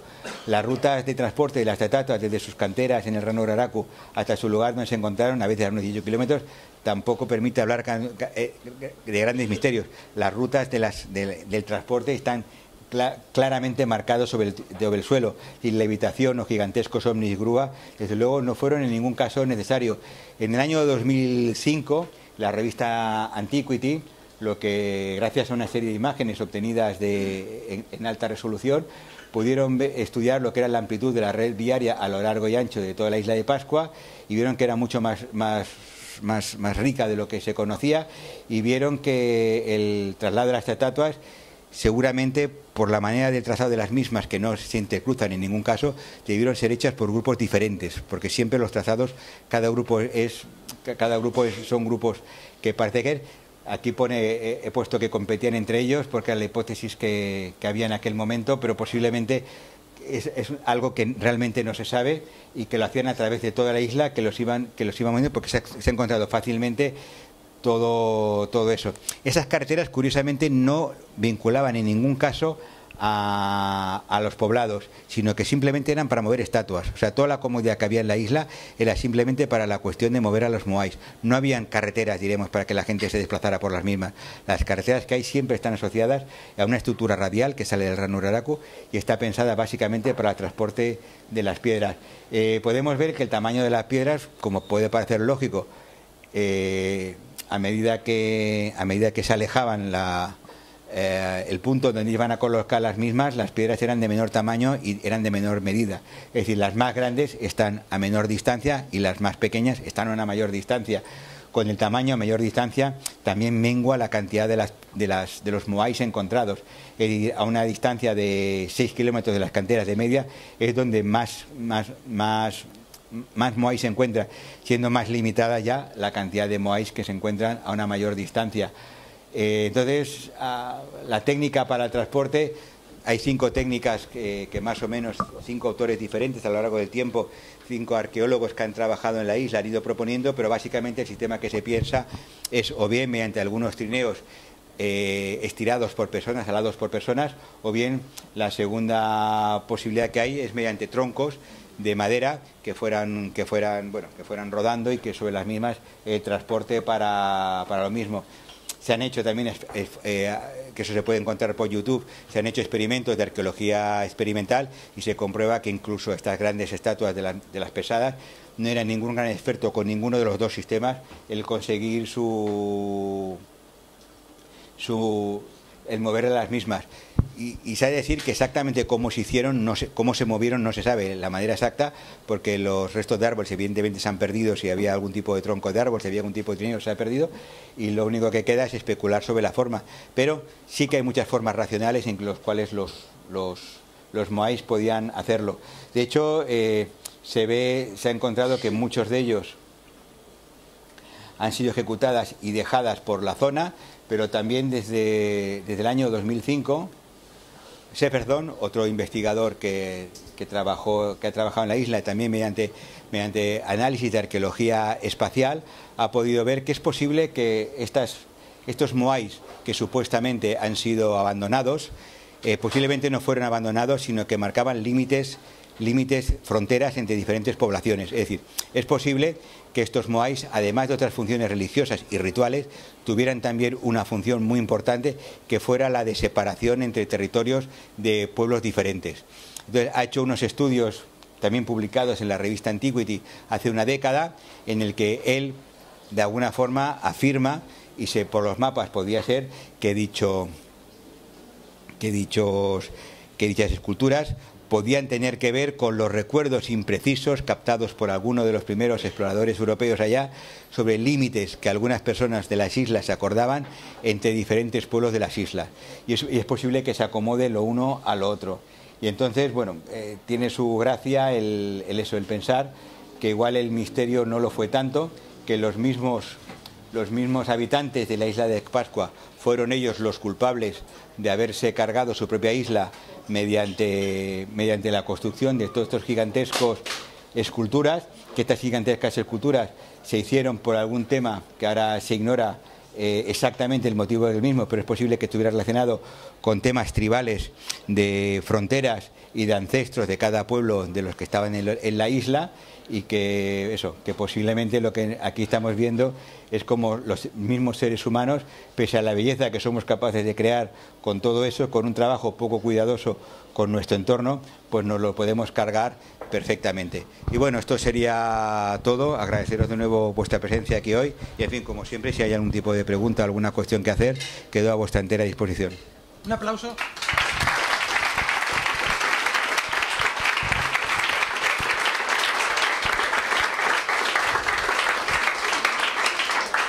Entonces, a partir de ahora, si a alguno le ha quedado alguna duda, consulta eh, al respecto, ya que tenemos aquí el lujo de contar con Alfonso, nos puede contestar cualquier cosa que, queráis preguntar, así mejor. Bueno, José, se empezar el voluntario. A lo mejor te pongo un compromiso, Alfonso, porque eh, en realidad es para que especules un poco. A mí hay una cosa que me, llama mucho la atención de la pseudohistoria y es lo abundante que es. Me da la impresión de que pones la televisión y es más fácil ver un programa sobre pseudohistoria que un documental sobre historia.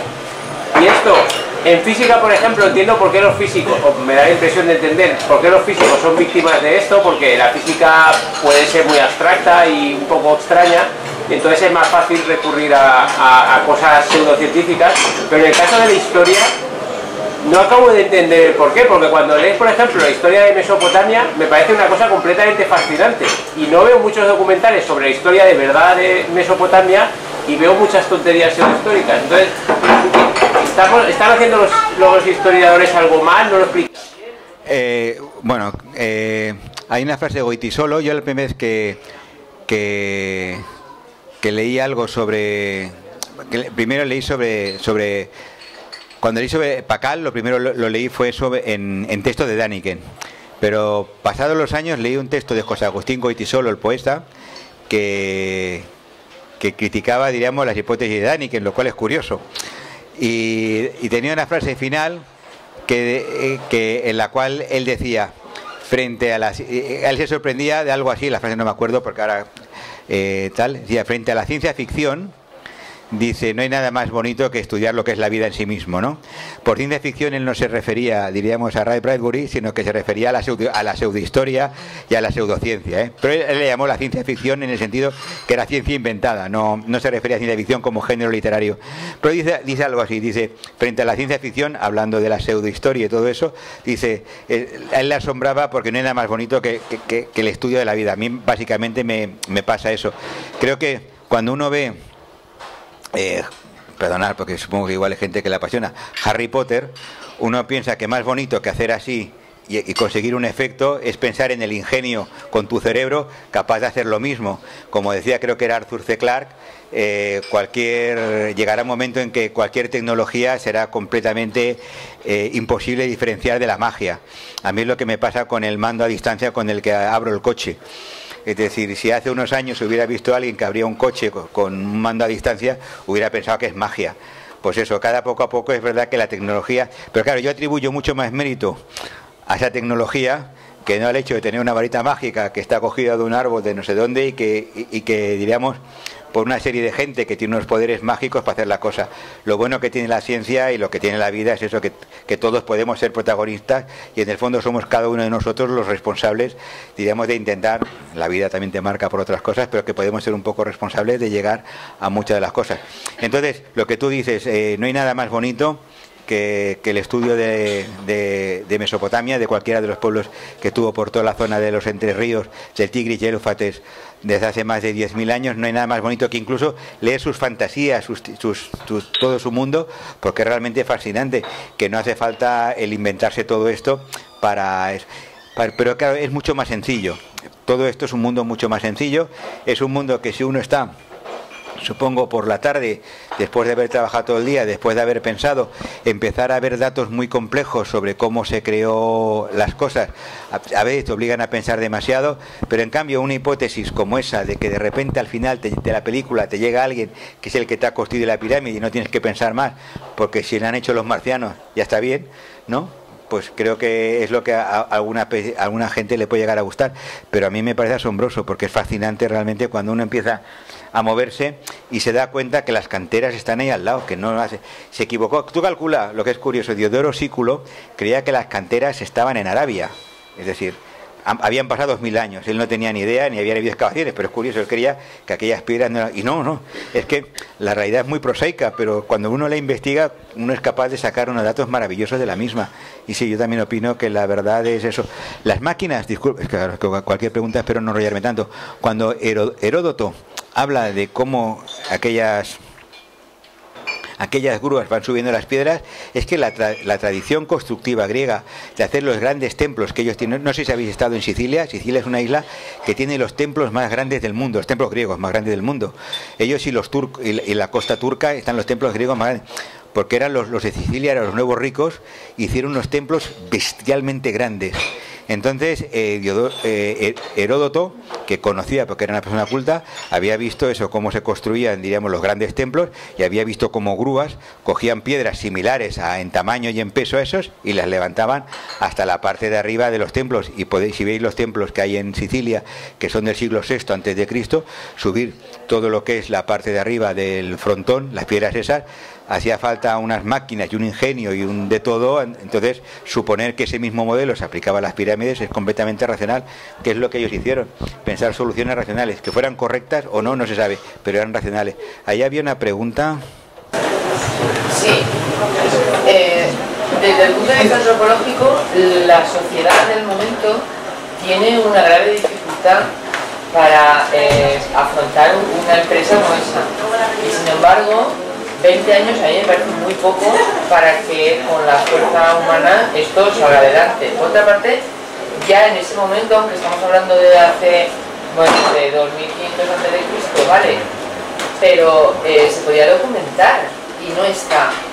Mm, la pregunta es, de, tu experiencia, ¿qué, ¿qué talante vergonzoso no le queda a la historia para ocultar que difícil, duro y depredador pudiera haber llegado a ser la construcción de esa pirámide? Eh, te, hablaré como arqueólogo. El momento culminante en la vida de un arqueólogo es cuando hunde a otro. Es decir, cuando de golpe alguien está defendiendo una... No sé que muchos estáis dedicados a la ciencia, pero unos momentos culminantes en la ciencia, cuando tú compruebas que alguien está diciendo a alguien algo que no es verdad y porque tú tienes una prueba que lo demuestra. Es decir, el construir las carreras en las universidades entre grupos de profesores y grupos de profesores eh, muchas veces es, es, una, es, una, es una carrera por el conocimiento, pero muchas veces también está teñida, diríamos, porque eh, para alcanzar según qué plaza si tú eres capaz de demostrar según qué tal. O sea, no hay confabulaciones de historiadores porque hay miles y miles de historiadores. Es imposible. O sea, pensar que en la universidad en primero te enseñan silencio si encontráis, diríamos, una nave extraterrestre en una excavación, eso no podría ser. Hay miles y miles y miles de excavaciones continuas por todo el mundo. Equipos que llevan excavando en Egipto desde hace más de 100 años. En en Pompeya y Herculano, por ponerte un ejemplo, hay excavaciones desde hace 250 años. Fueron iniciados por un rey español, Carlos III, que en aquel momento excavó allá. En Palenque hay excavaciones de diversas zonas desde hace, desde hace también unos 250 años en algunas zonas. Es decir, pensar que hay un mundo de secretos que va pasando de arqueólogos padres a arqueólogos hijos para que nunca salga nada de eso, eso es, imposible. Porque además, conocí, conocí a mi hija, cualquier cosa que supiera que pudiera decirlo y dejarme en mal lugar, seguramente lo diría así. Eso, no puede ser. Es decir, ojalá fuera así, porque ya digo, para mí sería una experiencia fascinante el encontrarme de golpe, pues que eso, que es verdad, que, fueron marcianos, porque esta realidad es maravillosa, ¿eh? Digo, marcianos o cualquier otro. Sí. No, no, yo, yo he entendido que no hablaba de marcianos. ¿eh? Sí.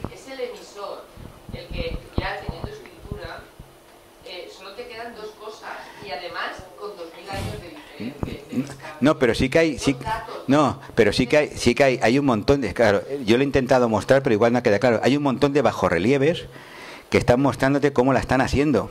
Los únicos que no hay bajorrelieves, la única parte que no está documentada es el cómo subían las piedras de abajo arriba.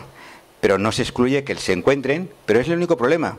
Todo lo demás lo habéis visto, cómo lo mueven, está todo claro, se saben las canteras, se sabe cómo las cortaban, se saben los materiales, hay, hay digamos, hay bajorrelieves en que muestran cómo se tallaba la piedra.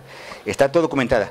La única cosa que no está bien documentada, eh, hemos encontrado rampas, o sea, eh, que, hubo rampas en Egipto se sabe hemos encontrado inscripciones. El mismo Heródoto cuenta que él leyó una inscripción en que hablaba lo que había costado hacer aquello y no ve nada raro. Es decir, que es que no hay nada raro.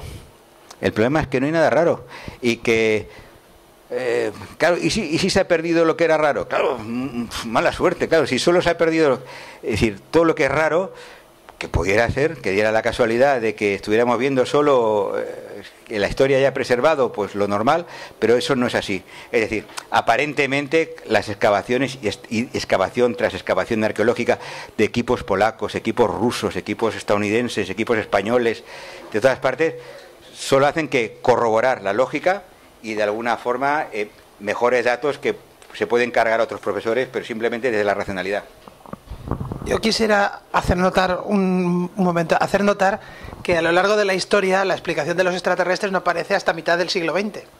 Cuando Heródoto, por ejemplo, habla de la, de la construcción de las pirámides, eh, empieza a pensar cómo se haría con grúas considerando ya desde una base racional que eso lo han hecho los egipcios, no tiene ninguna duda. Ningún historiador a lo largo de 4.400 años tiene ninguna duda que los egipcios han hecho las pirámides, hasta que no llega el tema de los platillos volantes en 1956 o 1954, por ahí. O sea, es una cosa relativamente moderna y ni siquiera se ha pensado en dioses ni en ninguna explicación mágica hasta hace cuatro días. Había una palabra ahí y luego ahí, perdón. yo redundar en lo que... Ah. Pues por ahí había dos palabras. ¿Qué es tu opinión de Deniken? La opinión de Deniken. Bueno, a los 15 años era una. Ah, perdona, sí. A, a, los 15 años era, era, era una opinión absolutamente favorable a Deniken. Es que era, era mi ídolo, es decir, que, que había descubierto todo un complot increíble mundial de ocultar pruebas. Claro, eh, nosotros antes, hecho, no hablaría de las líneas de Nazca. En Nazca, claro, te las presentaba, te presentaba también eh, un montón de cosas que, eran, que cada una de esas cosas eran misterio.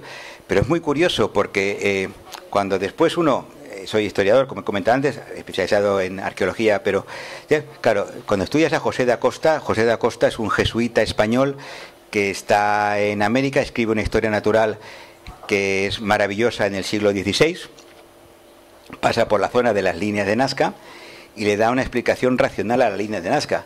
Él no tiene que inventar que había globos aerostáticos ni nada por el estilo, sino que él da una cita que él, él, cree que por cuestiones, diríamos, religiosas de esa gente hizo esas grandes figuras, pero él en ningún momento supone que, digamos, que tuvo que hacer ninguna cosa extraña para crearlas.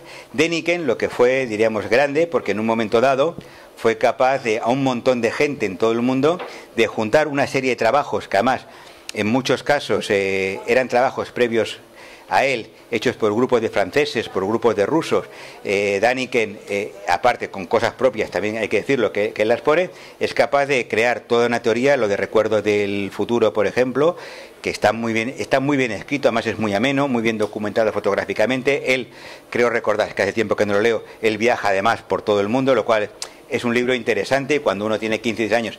El problema que tiene es que cuando de golpe empiezas a ver las pruebas sobre lo que se asienta, lo que él dice, te das cuenta que es un libro de ficción, o sea, no es un libro de ciencia, no es un libro basado en datos que tú puedas comprobar, no es un libro que de alguna forma él se preocupara mucho en saber la verdad, le colaron muchos goles, como las piedras de Ica, por decirlo así. Las piedras de Ica son unas piedras que se encontraron en la zona de Ica, en el norte de Chile, y que, eran, y que, las mismas se habían reproducido dinosaurios y seres humanos, y, se comprobó años después que habían hecho, sido hechas por los habitantes de la zona, porque uno las hizo, las vendió, que todos empezaron a hacer piedras de Ica y iban vendiéndolas como locos, ¿no? Y al final se pudo comprobar y le colaron bastantes goles por ese tema. Y luego por darle una apariencia de, diríamos, de misterio a muchas cosas que cuando uno conoce las, culturas en, profundidad se da cuenta que tal misterio no existe, pero sí que hay que investigar mejor y hay un trabajo y tal. Pero desde entonces la ciencia ha avanzado muchísimo y sus libros continúan ahí igual, petrificados. Daniken tampoco no se escribe, pero quiero decirte que él no ha avanzado dando más apoyo a sus hipótesis, pero en cambio la ciencia ha avanzado, diríamos, muchísimo eh, en otros aspectos, y eso realmente es uno de los problemas que tiene. Una nota es que Eric von Daniken tenía en uno de otros libros, Los propios dioses, tenía un aeropuerto hecho a escala de forma perfecta dentro de las líneas de Nazca. Y luego cuando uno iba a las líneas de Nazca resulta que era la pata de un águila. Entonces eso lo descubre no sé qué investigador y Daniken va quedando cada vez más para abajo. Llegó a crear una especie de parque temático en su país natal, que es en Suiza, pero que cerró a los tres meses. Con lo cual quiere decir que Daniken está yo, hubiera ido. no. Eh, pues mira, yo, estuve. ¿Ah, sí? Eh, sí, en Interlaken. Eh, lo vi por fuera porque era muy caro. Pero no, la cosa no prometía. Lo cerraron, lo abrieron, lo cerraron, pero creo que estará todavía pagando deudas. Pero bueno, aquí tenemos Terra Mítica, ¿no? irse muy lejos. no, quería preguntarte una cosa. Bueno, primera que me llama la atención de, de todo el mundo sobre todo cuando hablo con, escépticos de la primera ola, que todos empezasteis con Daniken, con Jiménez del Oso, y luego cambiasteis, que me parece muy bien, pero, por ejemplo, la gente que lee a Daniken, una pregunta muy simple. Si lo hicieron los extraterrestres, las pirámides, no sé, haber puesto un ascensor o lucecitas o algo. Esto a nadie le llamó la atención nunca. Sí, sí. Eh, sí, no, no, si, es la pregunta que yo iba a hacer. ¿Cuál es el objetivo de una civilización que atraviesa media galaxia, llega aquí y hace dos pirámides o tres pirámides? ¿Y no le pone luces? Sí, disculpa. Ese, eso, eso, que decís es cierto, pero si te recuerdas, eh, más empleadas que las pirámides en las películas de ciencia ficción futurista, ninguna, Stargate, acordaros, la última de la Patrulla X, ya veis el cine que me gusta. Eh, la última de Patrulla X también pasa, sale una especie de faraón antiguo que es un, en realidad es un mutante que se enfrenta con la Patrulla X, sale del interior de una pirámide. ¿Estamos seguros de que eso no es una central nuclear que nos va a A saber, a saber. Pues eso, eso es verdad. Es decir, sigue despertando, sigue despertando todo eso en la gente, una sensación de misterio y perdona, y es una pirámide. Quiero decir que no estamos hablando de nada, y sí, sin ascensor, sin jardín, sin nada de nada, ni sin luces. Pero bueno, ahora eh, en este trabajo, lo que es, en un trabajo que acabo de poner, que es esa tesis doctoral que se presentó en Barcelona, disculpa, eh, se dice que había una esfera por encima y que eran mucho más cosas, a saber si, si un día se encuentra el ascensor. Segundo, perdón, perdón. Sí. Eh, en historia y en ciencias sociales, ¿cuánto de lo que se cree o se asume puede ser pseudohistoria o pseudociencia. No te estoy hablando de Daniken. Por ejemplo, alguien que investigara ahora cosas como el papel del rey en el 23F. ¿No, ¿No crees que tenemos mucha pseudohistoria que nos la dan como historia y que solamente nos fijamos en eh, bueno, es, es una... Es decir, al igual que pasa en todos los campos, hay un campo que son los datos y otro es lo que tú levantas encima de los datos. Y eso pasa en cualquier campo del conocimiento, ¿no? Una cosa es esta mesa, entre comillas, y otra cosa es lo que tú eres capaz de especular sobre esa mesa.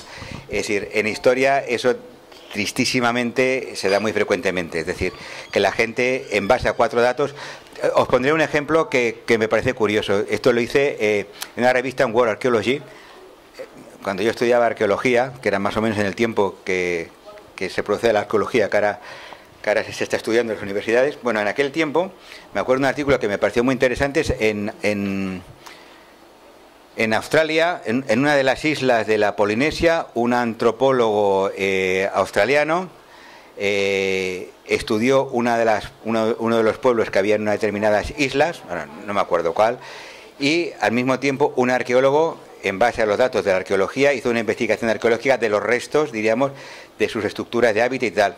Las conclusiones de ambos fueron diferentes. O sea, todo lo que la memoria de la gente le había explicado a uno era diferente de lo que los restos arqueológicos permitían determinar la misma cultura.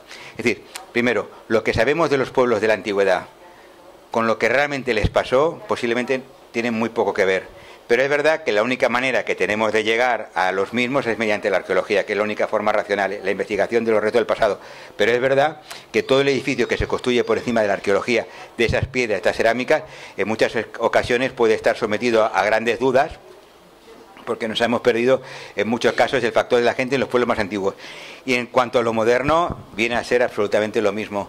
Lo que puede significar la frase ni está ni se le espera, eh, claro, yo te puedo decir que este año son los 25 años del IBMCP y me he encargado simplemente de hacer un pequeño artículo sobre la presencia en los medios. 25 años, gente que todavía está en su gran mayoría.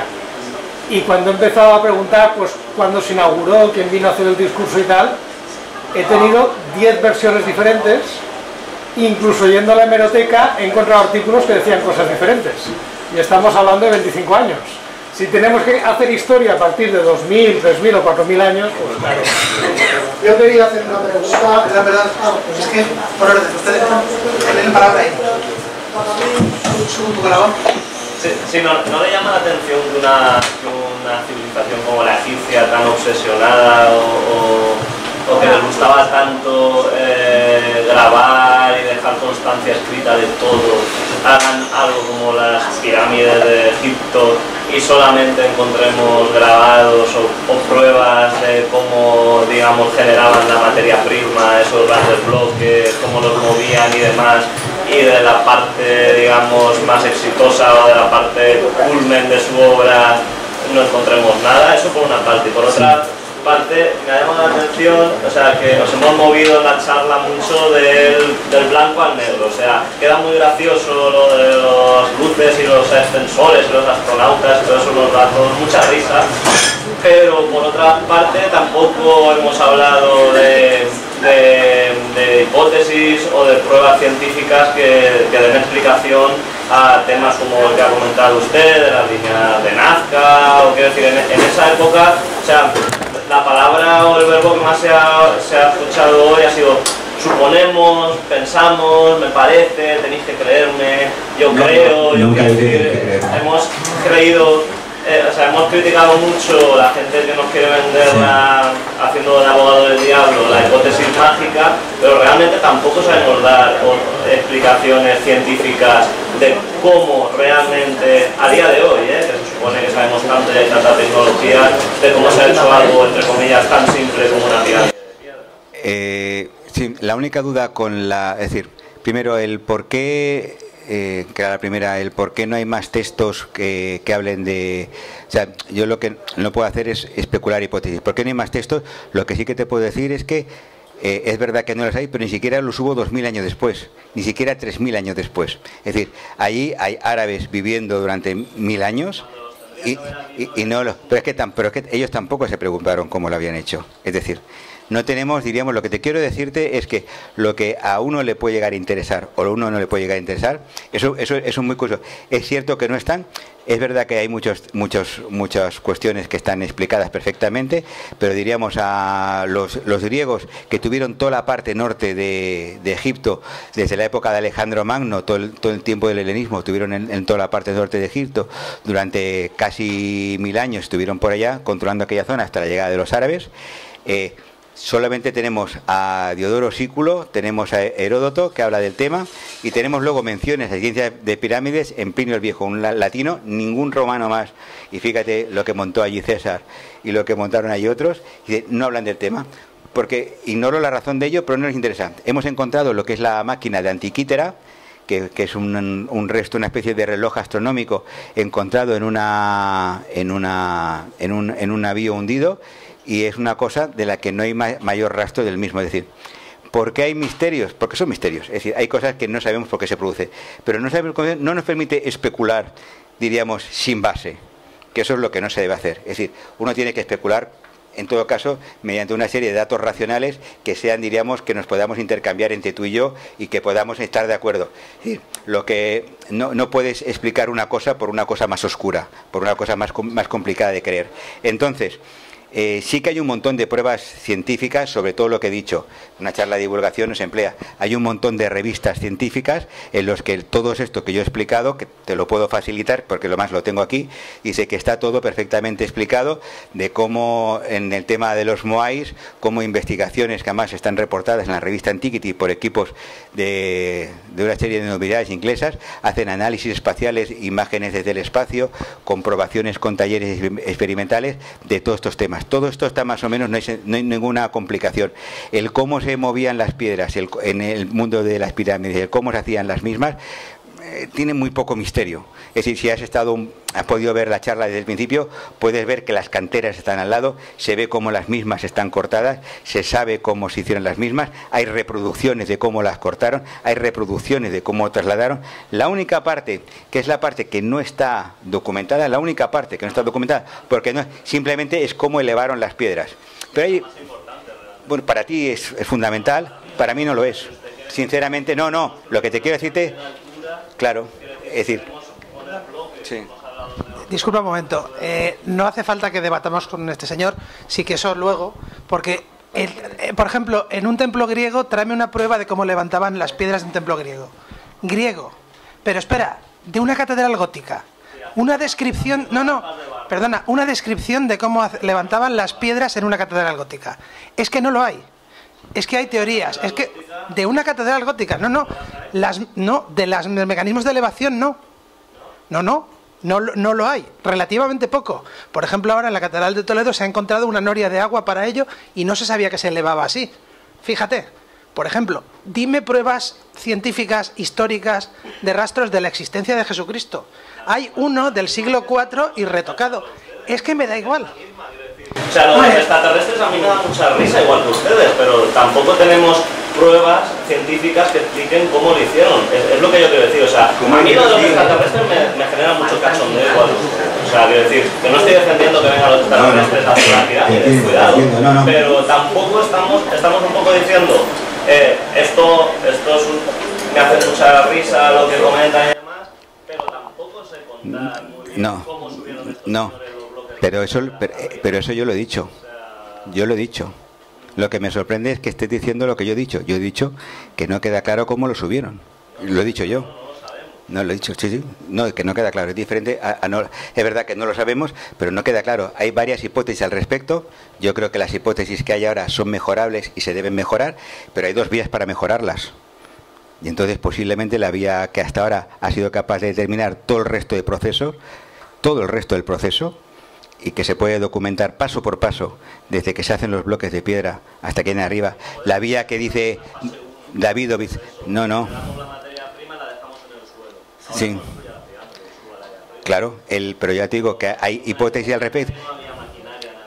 Bueno, pero eso es una hipótesis que dices tú. Sí que había maquinaria. Eso también lo dice Diodoro Sículo, pero en cambio no lo opina Heródoto, curiosamente. O sea, yo entiendo que tú lo digas, ¿eh? También lo dice Diodoro Sículo en el siglo I antes de Cristo. Heródoto en el siglo V antes de Cristo, él no defiende, él cree que hay máquinas. Es decir, que posiblemente posiblemente haya que sea un tema que admita un cierto debate si había algún tipo de máquinas de madera, tal como define Heródoto, que puede ser, porque son las mismas que están empleando en ese momento en, Grecia para hacer los templos griegos, son las mismas que él conoce en, su, en la costa de Anatolia para levantar los grandes templos que están haciendo en Anatolia, y él sabe por referencias que son las mismas máquinas que están sirviendo para elevar los grandes templos en la zona de Sicilia. Es decir, Posiblemente él sí que sabía que eso era posible y posiblemente supuso que tal. Que esté equivocado o no, no. Pero que sepas que máquinas como estas en la antigüedad las podía ver porque no había ningún problema. Si eran máquinas, diríamos, si eran mecanismos de madera. Eso no es ningún tipo de imposibilidad técnica. ¿eh? Eso era, eh, eso podía ser. Ahora, si tú me preguntas, ¿tú sabes que si hubo o no hubo? No, eso no lo sé. Eso no lo sé. Eso, ahí te admito que eso no lo sé. Pero no me cuesta nada admitirlo, que no lo sé. O sea, lo que una cosa es no saber y otra cosa es de golpe atribuir ese no saber a cualquier cosa rara. Porque lo que uno tiene que hacer es cuando uno defiende una hipótesis, diremos es las pruebas que avalan dicha hipótesis. Yo con todo el resto del proceso no tengo dudas. Aquí tengo dudas, y eso que hay hipótesis hechas por científicos en que las he visto y a mí les encuentro problemas. El tema de las rampas, las curvas, subir por ahí, lo veo complicado. Lo veo complicado. ¿Se pudo hacer? Ellos creen que sí. Yo la verdad es que lo dudo Pero que lo dude no quiere decir que no se pueda hacer, no quiere decir que no se pueda hacer, sino que sencillamente a mí me parece que posiblemente va a haber que investigar mejor y en los próximos años alguien encontrar exactamente la forma. Lo que ha hecho Davidovich con geopolímeros para intentar dar una explicación que pueda ser que tampoco me la creo mucho, pero, eh, pero son, diríamos, son propuestas racionales en la medida en que es fácilmente descartable o no, porque él lanza una hipótesis, se investiga esa prueba, se comprueba, si no es cierta, se tira a la basura y si es cierta, se continúa con ella. Eh, el que, porque no sabemos, ahí hay un misterio insondable, eso no, tiene, tiene Y con el resto de cosas, la única duda que he puesto yo es cómo elevaban las, las esos, porque no lo sé pero que ya te digo que en la antigüedad métodos para subir piedras había un montón y, simplemente que en este caso concreto la verdad que no, lo sabemos y por eso es la excepcionalidad de las pirámides, ese enorme tamaño que tienen, esa, esa, brillantez en su ejecución y en todos sus rasgos. Está muy, está muy bien hecha. Pero eso no permite ir mucho más allá de eso. No permite ir mucho más allá de eso. Yo le doy un voto al ingenio humano antes que a, a una palabra ahí, luego José. Bueno, yo voy a retraer la conversación un poco a Mulet cuando ha hecho la pregunta de, que por qué estábamos tan aficionados a los Maniquel. Yo también estaba muy aficionado a los Maniquel y en España también había mucho. Pero te explicaré por qué, porque eso también es una historia, o sea, es historia y a lo mejor eh, tú no lo has vivido, que, que tú has historia. Eh, ¿Era usted sagrada? Eh, no. o, se me ha olvidado. Pues aquí éramos verdaderos expertos en historia sagrada. Entonces, saltar de la historia sagrada a Don Daniken era lo más sencillo. Y eso es una explicación antropológica. No era un reproche, era una curiosidad. No, no, si yo también, si, es solamente un sarcasmo. Que en los años 50 y en los años 60, eh, aquí se vivía la historia sagrada. Y esa no necesitaba ni marcianos ni nada ya tenía su propia explicación. Entonces, que luego vinieron los marcianos era un salto científico brutal. ¿Sabes? O sea, que, eso es lo que te quería decir. En ese contexto hay que verlo vivido para saber por qué él le gustaba Von que yo también leía Von que y todos los que nacimos alrededor de esa época. Era simplemente por la discusión esta que ha habido, pues ahondar en que no saber algo no es un problema. Ya está, hay muchas cosas que no sabemos pues es un desafío, iremos viendo a ver si podemos averiguarlas o no. Yo trabajo en biología, hay muchísimas cosas que no sabemos. ¿Por qué han pasado? Pues no lo sabemos. Algunas las hemos averiguado, muchas, y cuando las hemos averiguado es porque hemos tenido evidencias y a partir de esas evidencias hemos dicho, vale, ha sido así. En otras ha habido difusión, todavía no están claras, hay hipótesis, pero no, no está claro, y en otras no tenemos ni la más remota idea. Pero eso no es un problema. Uno debe de vivir tranquilo con tener dudas. El problema está en plantear una hipótesis para rellenar un agujero en el conocimiento sin tener el apoyo de evidencias o de una lógica que nos lleve desde esas evidencias a la hipótesis, pero no veo cuál es el problema de no saber algo. No sabemos cómo se subieron las piedras, pues me parece un desafío para los historiadores para que sigan buscando a ver si averiguan, o mediante la arqueología o leyendo papiros, a ver si al final se averigua, pues sí, está, está muy bien. Ahora, sabemos, por ejemplo, cómo vivía la gente que construyó las pirámides, entonces... Sabemos hasta, hasta que... Hasta hemos visto las bacterias de la peste que tenían sus pulgas, lo cual es, es mucha precisión en el saber, ¿eh? Es decir, lo que a mí me parece asombroso ser capaces de determinar que ya contenían las ratas del Nilo, ya tenían, las, tenían pulgas que tenían eso. Esta semana he, estado leyendo, relacionando la historia y la genética, eh, empiezan a averiguar qué gente vivió en las cuevas que, que han estado habitadas sin que haya ningún resto humano. Simplemente coges tierra, secuencias el ADN que queda en la tierra, normalmente porque la gente ha hecho sus necesidades allí o porque alguien la, se ha muerto allí, y han averiguado qué gente, de qué población vivía allí, secuenciando el ADN que queda desde hace unos 60.000 años o así, se, ha llegado hasta ahora. Eh, hemos averiguado qué gente vivía en las cuevas sin que haya ya ningún resto de ningún huesecito, nada, simplemente la arena. Las cosas van avanzando y poco a poco vamos averiguando cosas alucinantes. Bueno, vamos a ver. No, era que los, que los astronautas estos venían del espacio se emparentaban con las hembras y hacían eso que ¿cómo ha quedado en el ADN? ¿Cómo ha quedado en el ADN? Perdón, dentro de la asociación también necesitamos para los socios, aparte de fuera una revista, tengo aquí un par de ejemplares. Las dos primeras personas que pidan una, se la regalo. ¿Alguien quiere una revista de la asociación para leer? Pues una para allá. ¿Alguna? Y ahora una pregunta que había por ahí. Sí, Oye, sí, que te digo. a, mí lo que me alucina, aparte de todo lo demás, es si se sabe algo acerca de qué mentalidad podrían tener los unos, los otros y los demás allá de toda la gente de la de todos los pueblos de los que has comentado para meterse en semejantes follones. La isla de Pascua, que nazcan las pirámides, no sé qué, porque aquí ya sabemos un poco por dónde van las cosas. Hemos tenido la movida, la ciudad de las ciencias, por ejemplo, y tenemos un poco una idea, pero a mí me gustaría, me- o sea, me llama la atención que, que el personal, que además vivía pocos años, se les ocurra meterse en semejante follón. Es y los otros. No tenían internet. Sí, eh, eh, la verdad es que eh, no estoy muy seguro, porque cada época tiene su razón, su manera de ver las cosas y de enfrentarse a sus problemas. Pero en general suele ser un problema de, ego.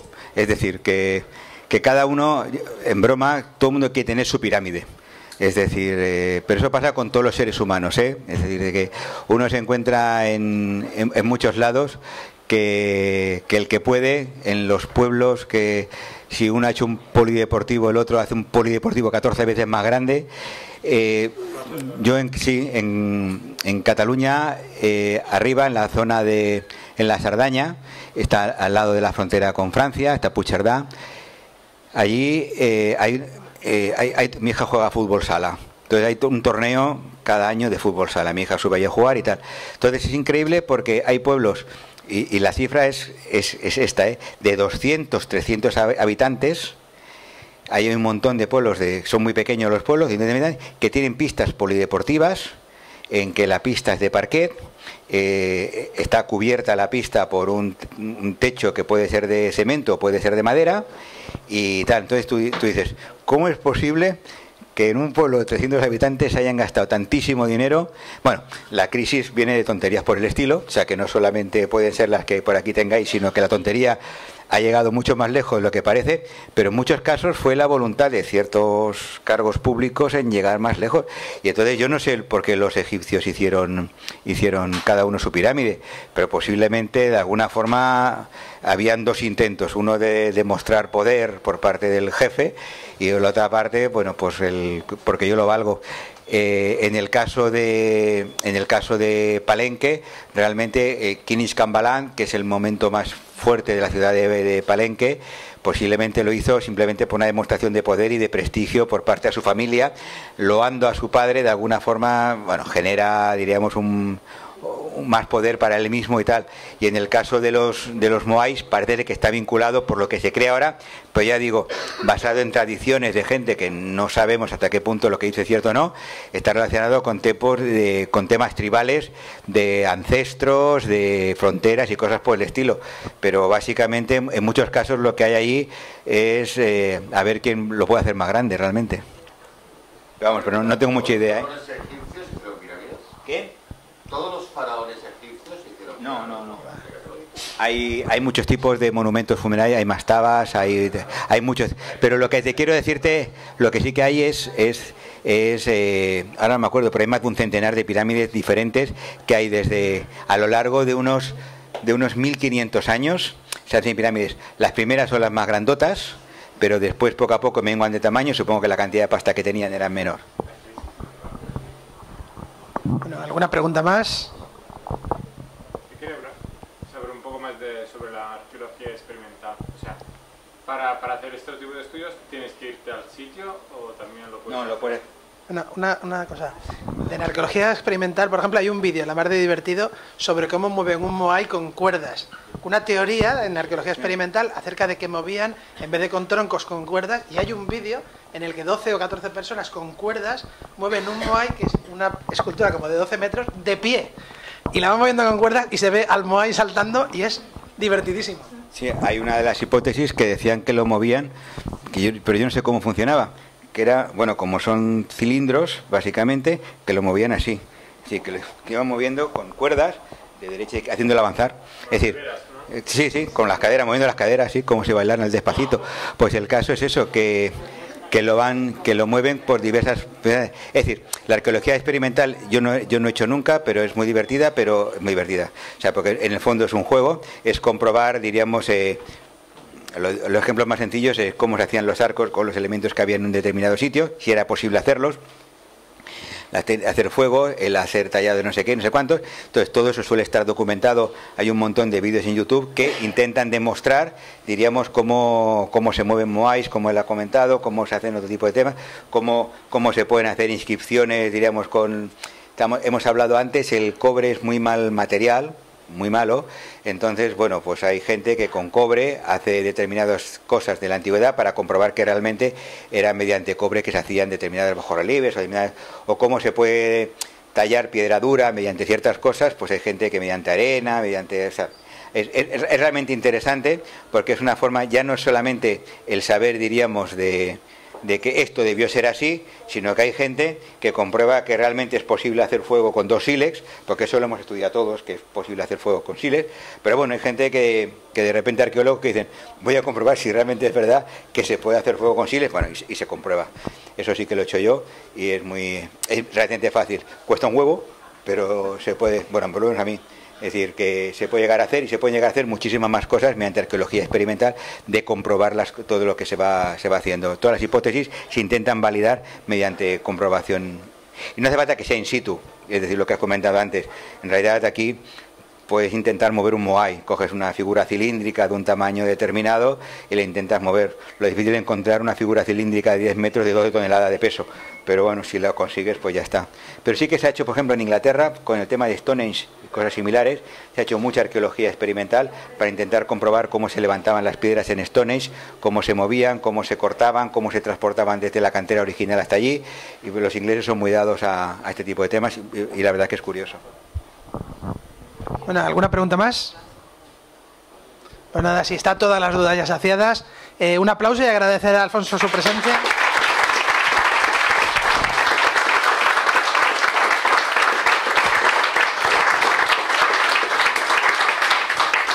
Y gracias a todos y todas por venir y próximamente os notificaremos la siguiente charla en los medios habituales. Muchas gracias a todos.